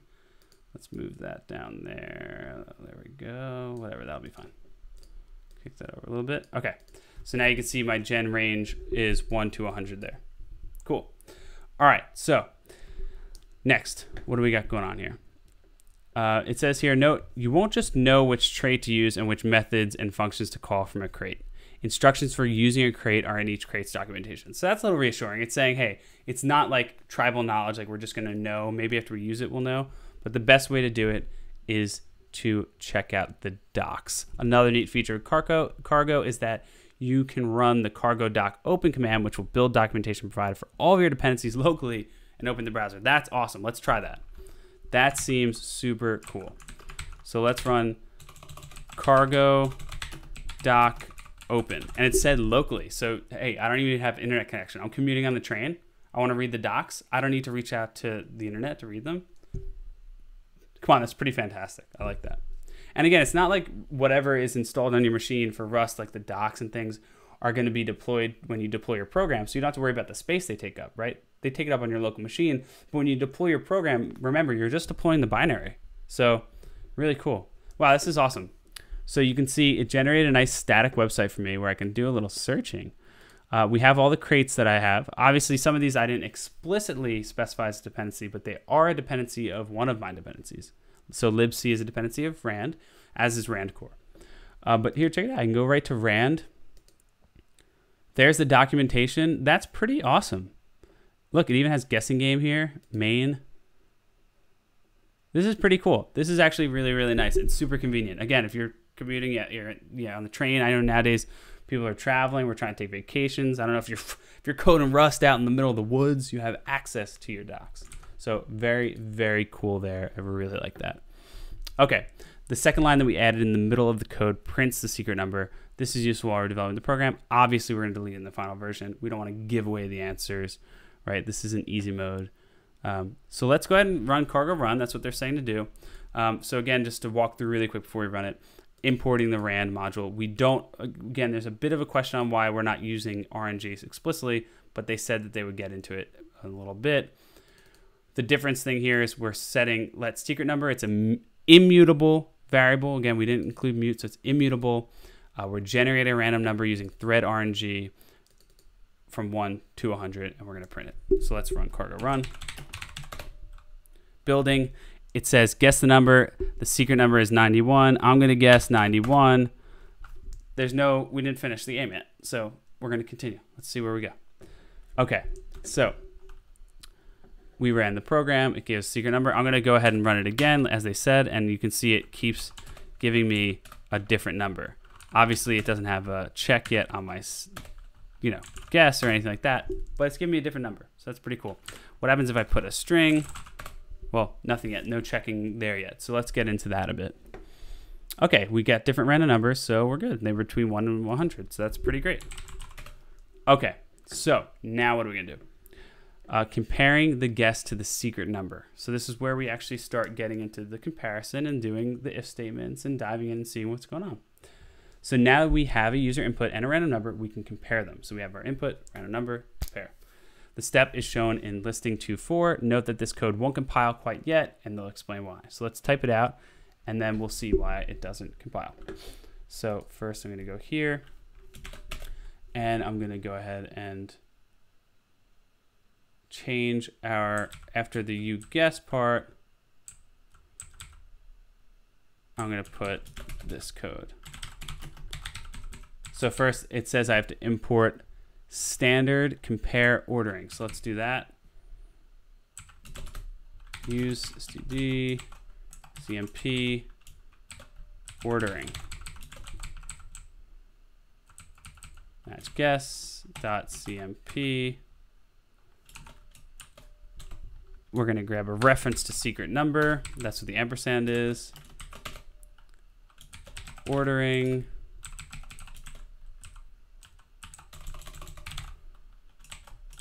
less, so it looks like this is almost like a switch case. If it's less, we'll print ln, too small.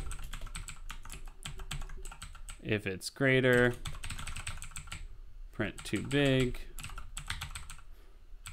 And if it's just right, aka equal, we'll print you win. All right. And it looks like these are separated by commas. Looks like they do like trailing commas in Rust, hence the last comma at the end there. Um, and it said it's not going to compile. Let's take a look ourselves at why we think it might not compile. Mismatch types. Expected struct std string string found integer because our secret number, as we saw up here, is a randomly generated integer. AJVN, thank you for popping by. Appreciate it. You have a great night and join us next week for some more Rust. So, all right. So it's saying that this is expecting a string found integer. Expected reference string, found reference integer. All right, so we'll see what is going to happen there. All right, Clan Watson, see you as well. All right, so let's see here what's going on. What we're going to do is the first new bit here is another use statement. So we're pulling in ordering. We're pulling in this ordering uh, from the standard library here, into scope from the standard library. Like result, ordering is another enum, but the variants for ordering are less, greater, and equal. So those are the options. So we saw that result could be okay or error. We're now seeing that ordering can be less, greater, or equal. These are the three outcomes that are possible when you compare two values. Absolutely. Then we add five new lines at the bottom that use the ordering type. The compare method compares two values and can be called on anything that can be compared. It takes a reference to whatever you want to compare it with. Here it's comparing the guess to the secret number. Then it returns a variant of ordering enum we brought into scope with the use statement. So it's saying it can't compare guess and secret number. So number is an integer, guess is a string. It can't compare them. We're going to need to convert guess into an integer. So then it returns variant ordering enum we brought into scope. Uh, we use a match expression to decide what to do next based on which variant of ordering was returned from the compare call. So this compare call is going to return an ordering. We then do a match statement to see which one we actually got. So pretty cool. Um, so we're going to use, so basically what we're going to see is what we got back from comparing guess and the secret number. A match expression is made up of arms. Uh, so some people, you know, in other languages might call these branches, like in your if statement or conditions. Uh, in Rust, it looks like they're going to call them arms. An arm consists of a pattern and the code that should be run if the given, if the value given to the beginning of the match expression fits that pattern, right? So if it fits that pattern, it's going to run that part of the arm. The match construct and patterns are powerful features in Rust that let you express a variety of situations your code might encounter and make sure that you handle them all. Pretty cool. These features will be covered in detail in chapter 6 and 18, respectively. All right, so we'll get more into it. Apples and oranges, exactly. We can't compare strings and integers. Not going to work. Thanks, Archangel. So let's walk through an example that would happen uh, with the match expression used here. Say that the user has guessed 50 and the, and the randomly generated secret number is 38. When that code executes and compares 50 to 38, the compare method will return ordering greater because 50 is greater than 38, and we would see too big printed there on the screen. Um, right, and so the value, it starts running that arm and then prints that. Uh, it looks at the first arm's pattern. So it sees ordering less as the first arm's pattern. We skip over it. It does not run that code. It sees ordering greater. That is the one it needs to run. It runs it, and it never runs the equal one. So makes sense. The associated code in that arm will be executed. However, the code in listing 2.4 won't compile yet. So let's try to compile it like it's saying to do here. We're going to run cargo build, and we get an error. It's saying it can't compare a string to an integer, just like the same error we saw here. So it's really nice that it kind of like pre-compiled, right, and then gave us a, the hint right there. So that's pretty cool. Um, so the core of the error states that there is a mismatch type against strings and integers. When we wrote mute guess string new, Rust was able to infer that guess should be a string. And it didn't make us write a type. The secret number, on the other hand, is a number type. A few number types can have a value between 1 and 100. An I32, which is a 32-bit number. So again, this is a lower level systems programming language. So we're not just going to have integers and floats. We're going to have different types of, of numbers here. And that's where we get into the lower level stuff. And it allows us to do some powerful stuff, but it's something we're going to have to learn. So I32 is a 32-bit integer. U32 is an unsigned 32-bit integer. Unsigned meaning it doesn't have a positive or negative sign. Um, I64, which is a 64-bit number, as well as others. Rust defaults to an I32, which is a signed 32-bit integer, which is the type of secret number unless you add type information elsewhere that would cause Rust to infer a different numerical type. So we could tell it, hey, it's going to be a type U32, which is unsigned. Uh, but in this case, it's going to, by default, use I32.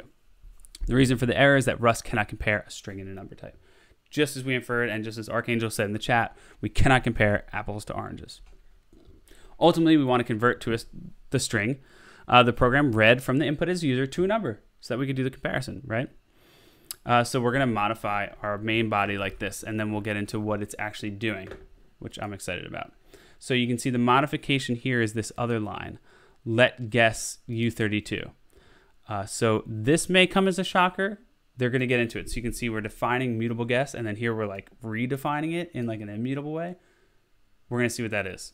Um, but so I'm going to go ahead and write that out. So right here, we're to do let guess u32. So we're saying guess is going to be a 32-bit integer. Just trust us. Nani? Yeah, yeah, right. It's a um, it's it's shadowing. It's interesting. All right, we're going to see what it is. So guess, we're taking guess, we're trimming it, which I'm assuming is going to cut off the, if it's like JavaScript, cut off the white space, the new lines. Generally, when you have something in standard input, after you type it, it always appends a new line to the end. I'm assuming it's going to cut that off. We're going to parse it, which is just probably like JSON parse. We're going to parse the string as the integer. I'm going to call dot expect. Please. Um, in fact, what I'm going to do is I'm going to put these, I can put these on a new line. We'll see what the formatter does though. Please type a number. So now we're actually doing the type checking. So if we don't type a number, it should trigger the expect block, the error, and throw the error. All right, so we have you guessed guess. Okay, so now let's dig into this part of the code. The line is guess colon 32, which is a type. If you were with us when we did TypeScript, you know that we do colon and we declare the type. It looks similar here. We're saying it's an unsigned 32-bit integer. Um, we create a variable named guess, but wait, doesn't the program already have a variable named guess? Ah. It does, but Rust allows us to shadow the previous value of guess with a new one. This feature is often used in situations in which you want to convert a value from one type to another type yo, shadowing is new, right? I haven't heard of this. Never done this with JavaScript. Didn't do this with Python. Elixir sure doesn't have this that I know of. coming across something new, but let's see what it's all about. Shadowing lets us reuse the guess variable name rather than forcing us to create two unique variables such as guess string and guess, for example. Chapter 3 covers shadowing more detail. So we'll get into more detail, but that is pretty neat. We do that a lot, right? How many times have you, if any of you have used JavaScript, right, and you're, let's say you're reading something from local storage or you're taking a JSON string and you then parse it. So you would call the first one JSON string, or like maybe you'd say, let's say you're parsing a string that's like um, a list of usernames, and you say, you know, username JSON string, and the next one is usernames. Now you don't do that. You can reuse the same variable name. Samuel said in the chat, sounds like Python, but having to be explicit. Yeah, it, that is true. You could do it in Python, right? You can make reuse the name, but this is like saying explicitly that you're reusing it, which is kind of cool. So in chapter three, it looks like we'll get into more about shadowing. So I'm pretty excited to see that. It is cool. It's a seems so far to me like a minor convenience, but um, we'll see. I, I, do like it. Uh, so it's like casting. I I don't know if it's like casting. I think the casting is happening when we're saying U32, and we're not casting like we're kind of just declaring the type. It seems like what it's doing is allowing us to reuse reuse the variable name um, and modify the type. We actually do have to modify it. So we're not just saying it's of type integer. We actually have to do some sort of modification that will change the type. So it feels like a mutation, but it's it's actually a copy with some inline um, modifications or type transformations. So yeah, it's interesting. I guess uh, chapter three we'll find out a little bit more, but pretty interesting. Uh, we bind guess to the expression guess trim parse. The guess in the expression refers to the original guess that was a string. The trim method on a string instance will eliminate all white space. So we are right about that. Although U32 can contain only numeric characters, the user must press enter to satisfy read line. When the user presses enter, which that's true, a new line character is created. So yeah, so that's what I was saying. It adds a new line when you type. Uh, so what you end up getting is 5 slash n. The n represents the new line. We need to trim that out. So just trimming out white space, trimming out new line characters, pretty cool. Here's the part where we're actually converting it, right? The parse method on a string parses a string into some kind of number. Because this method can parse a variety of number types, we need to tell Rust the exact number type we want by using let guess colon u32. So that's like the casting that's happening there. Isn't parse doing the casting? So that's a great question. I think what parse is doing, it said here, is parse is, is converting it to a number, right? It's taking it and converting it to a number. But as it says here, parse can make it many different types of numbers. So by saying u32, we're saying we want parse to cast this to an unsigned 32-bit integer. We could probably also say i32, which would be a signed 32-bit integer, and then we can deal with negatives, right? Um, so additionally, the U32 annotation in this example program and the comparison with secret number means that Rust will infer that secret number should also be a U32. So now the comparison will, will be between the two values of the same type. So it seems complicated, but really it's it's not too bad. If we just defaulted to using i32, which it, it uses by default, we could be okay. But because our guessing game doesn't want to get into negatives, because we know that the number can only be 1 to 100, um, we're just going to use unsigned so that it has to be a positive integer, right? And U32 is a good default there. Uh, the call to parse could easily cause an error. For example, if the string contained an emoji, there would be no way to convert that into a number. Because it might fail, the parse method returns a result type. And again, we know result types have OK values and error values, and the dot expect is going to allow us to handle that error value appropriately. Had we not included the dot expect, well, first of all, we would see that our code would actually complain to us and tell us, yo, what's good? You got to handle that type. Um, but having the expect will let us handle the error. If no error is present, expect will just pass along the value. So that's really, really great. So pretty cool there. And you can see here, um, it'll call expect if it crashes. If parse can successfully convert the string to a number, it will return the OK variant of result. And expect will return the number that we want from the OK value. Let's run the program now. All right, let's try it. I'm going to go ahead. Let me run this actually here so you can all see it. And then I don't have to move myself there. All right, so I'm going to go over here. I'm going to go into programs, projects, clear this out here. What, what happened here? Let me just clear this out. And let's scroll down here. There we go. And let's go to guessing game. Oh, I don't know what happened here.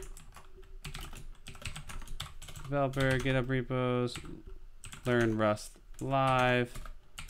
We're gonna go into projects. We're gonna go into guessing game. We're gonna run cargo run. And it says here the secret number is 100. Please input your guess. I'm gonna input two. It says too small. I'm gonna go ahead and the secret number is 89. I'm gonna guess 100. It's gonna say too big.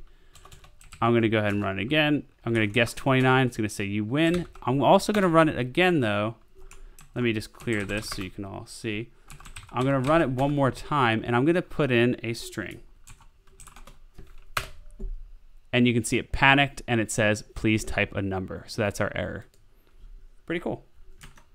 All right, so let's jump back over here. Let's just close this out. So nice, even though spaces were added before your guess. So, oh, in that case, they added some spaces. So here, we can try that out as well and see that the trim works. So I'm gonna put space, space, space, space, space, three. And it, it still worked. Panicked, yeah, right. Um, okay, so let's see what's going on. Um, run the program a few times, verify the different behavior. We did that, great. Allowing multiple guesses with a loop. So it works, it's guessing, right? And it's panicking correctly and showing us the error. Um, but what's the point, right? It give, it's giving us the number and it doesn't let us keep trying. It tells us too small and then it's like, you're done. You're done, right? So you'll never, you'll never get more than one guess. So we need a loop. Now, this is, I think, where we're going to get into the interesting part uh, because, you know, we can't write programs without loops. We need some sort of mechanisms for this. We know in JavaScript we have many ways. Python, we have a few ways. Um, every language has its own way of doing control flow or looping. And so let's see how this how this looks the loop keyword. They're just gonna call it loop like that. Wow, wow! It's not gonna be for and i less than greater than i. Just for loop. Let's just call loop. Wow, very clear. I know what this does. You know what this does. Creates an infinite loop. We'll add add that now to give users more chances to guessing the number. All right, let's just throw in a loop. So let's go to where it says please input your guess.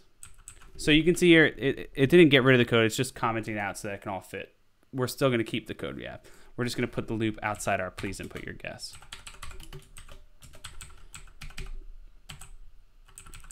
So we got our loop. Save that. As you can see, we've moved everything inside a loop. So you can see that here. I'm just scroll there so you can see our loop, right?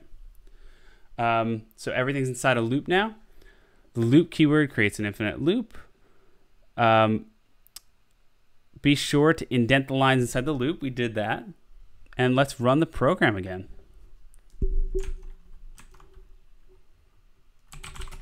Cargo run. Let me zoom in there for you a little bit. Can everyone see that? Clear that. Go to the top. Cargo run.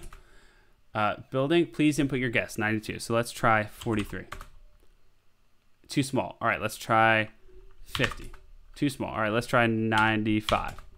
Too big. All right, let's try 93. Two. We know what it is. We win. But look, it's still going. So the only way for me to exit is to type, hit enter, or type a string, or break it, or hit that prototype nonsense. Yeah, right. Um, so what we need to make it stop. We need to break this infinite loop, right? We can't stay here forever. The user could always interrupt the program by using the keyboard shortcut Control C. We interrupted it by just making an error happen. Whatever. Um, if the user enters a non-number, it'll crash, right? That's what we did. But how do we get it to actually quit? Let's see. Typing quit actually quits the game. So any other non-number input, yeah, right? Because because it just breaks. Um, quit after getting a correct guess. So let's see how to quit after getting the correct guess.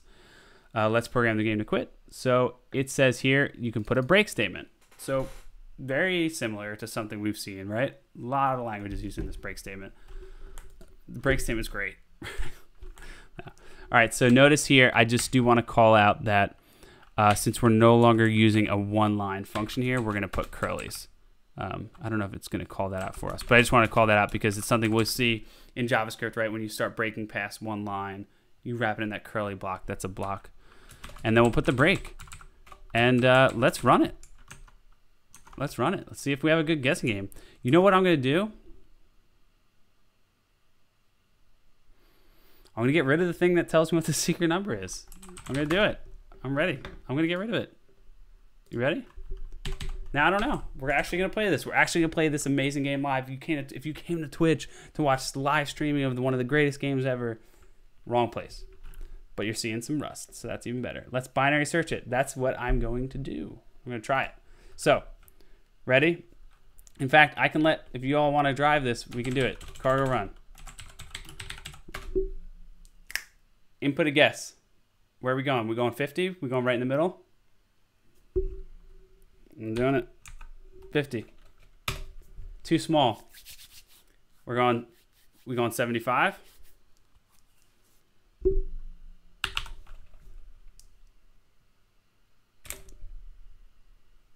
Too big. Woo! Woo! All right, 50, 75. Where are we going with this? 60. What's halfway? Three? What is it? 25. Let's do it. Too small. All right. That's it. We're going 70.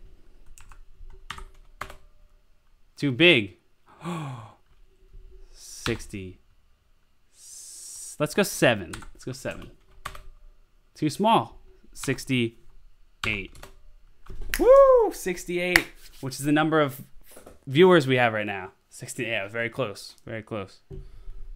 Yo, let's keep it clean in the chat. No, just kidding. Great. Yeah, we did good. 68. We guessed it. Awesome. So our thing works. And look, the important part, right? It broke and it quit and we won. Awesome. So this is great. And we're just at 11 o'clock, which is where we're going to be stopping for today. But let's just finish this last part because there's not too much more to it. We're going to handle that failure case. Um, so we have it quitting after the correct thing. Now we want to handle invalid input. Uh, to further refine the game's behavior rather than crashing the program when the user inputs a non-number, let's make the game ignore a non-number so the user can continue guessing. That's a cool idea. We can do that by altering the line where the guess is converted from a string to U32. Okay, so it looks like they actually have this here. Instead of just calling expect, we're actually going to put a match condition. 16 hour stream, yeah, let's go. So instead of calling um, expect on this, we're actually gonna do a match on the result. I really like this. This is pretty sweet. It's like uh, almost like in Elixir or a, a, pattern matching language like like Elm, where we can actually match on stuff. So I really like this. So let's say okay, um, and it's gonna give us a number if it's okay. I like that, and we'll just return the number. Otherwise, if it's an error, it's gonna give us that error value. We don't care what it is. We're just going to continue the loop. So pretty cool. Um, let me see what it's complaining about here. 32. Oh, we have to put it. Oh, see, look at this. Look at this in the front match.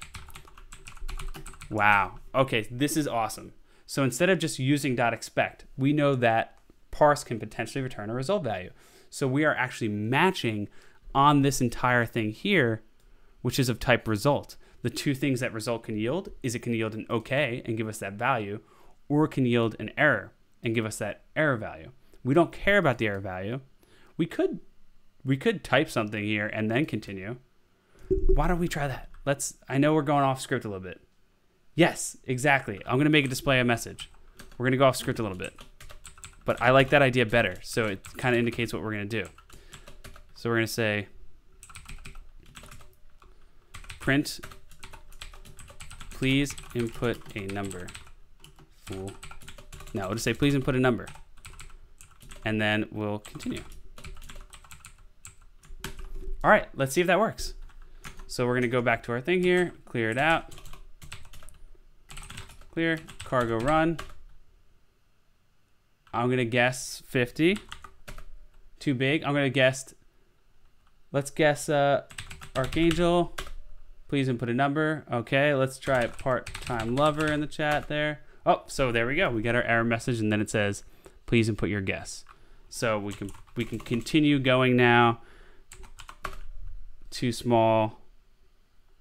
We saw that 50 was too big. We're gonna go 35. Whoa! Look at that binary search. That's why binary search is awesome. Look, we nailed it. Look at that. Three guesses. Come on, come on. We pros?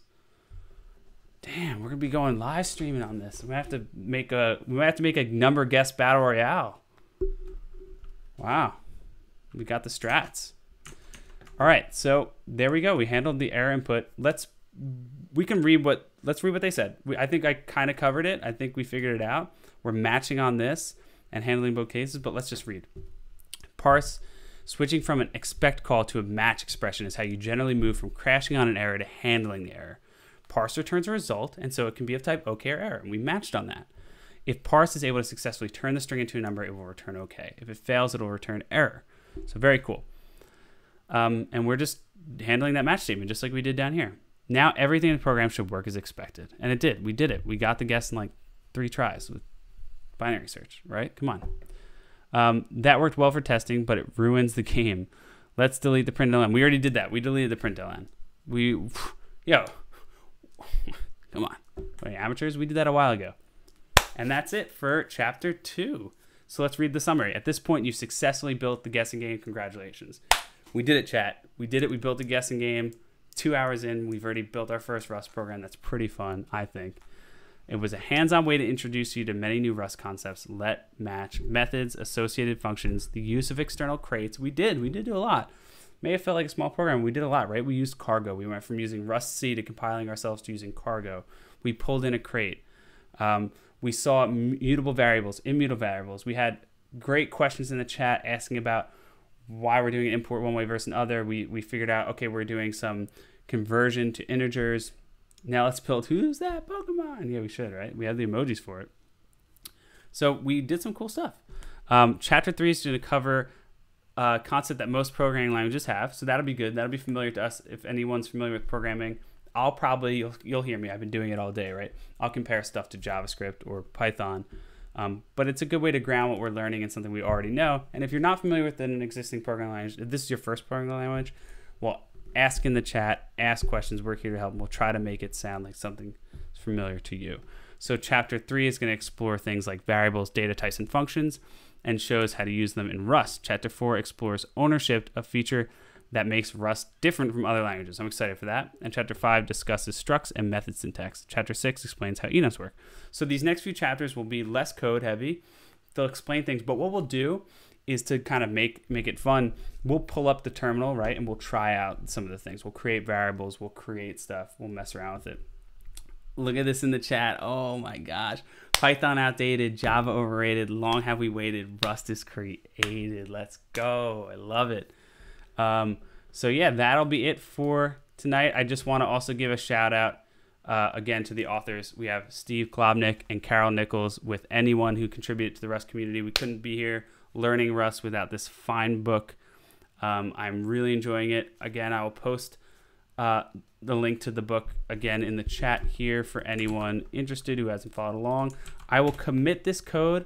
I'll put it up on GitHub. It'll be under the repo Learn Rust Live, the same name that we put inside our uh, project there, the same place we created. I will be posting this video on YouTube. So if you weren't able to follow along or you joined us late, no worries.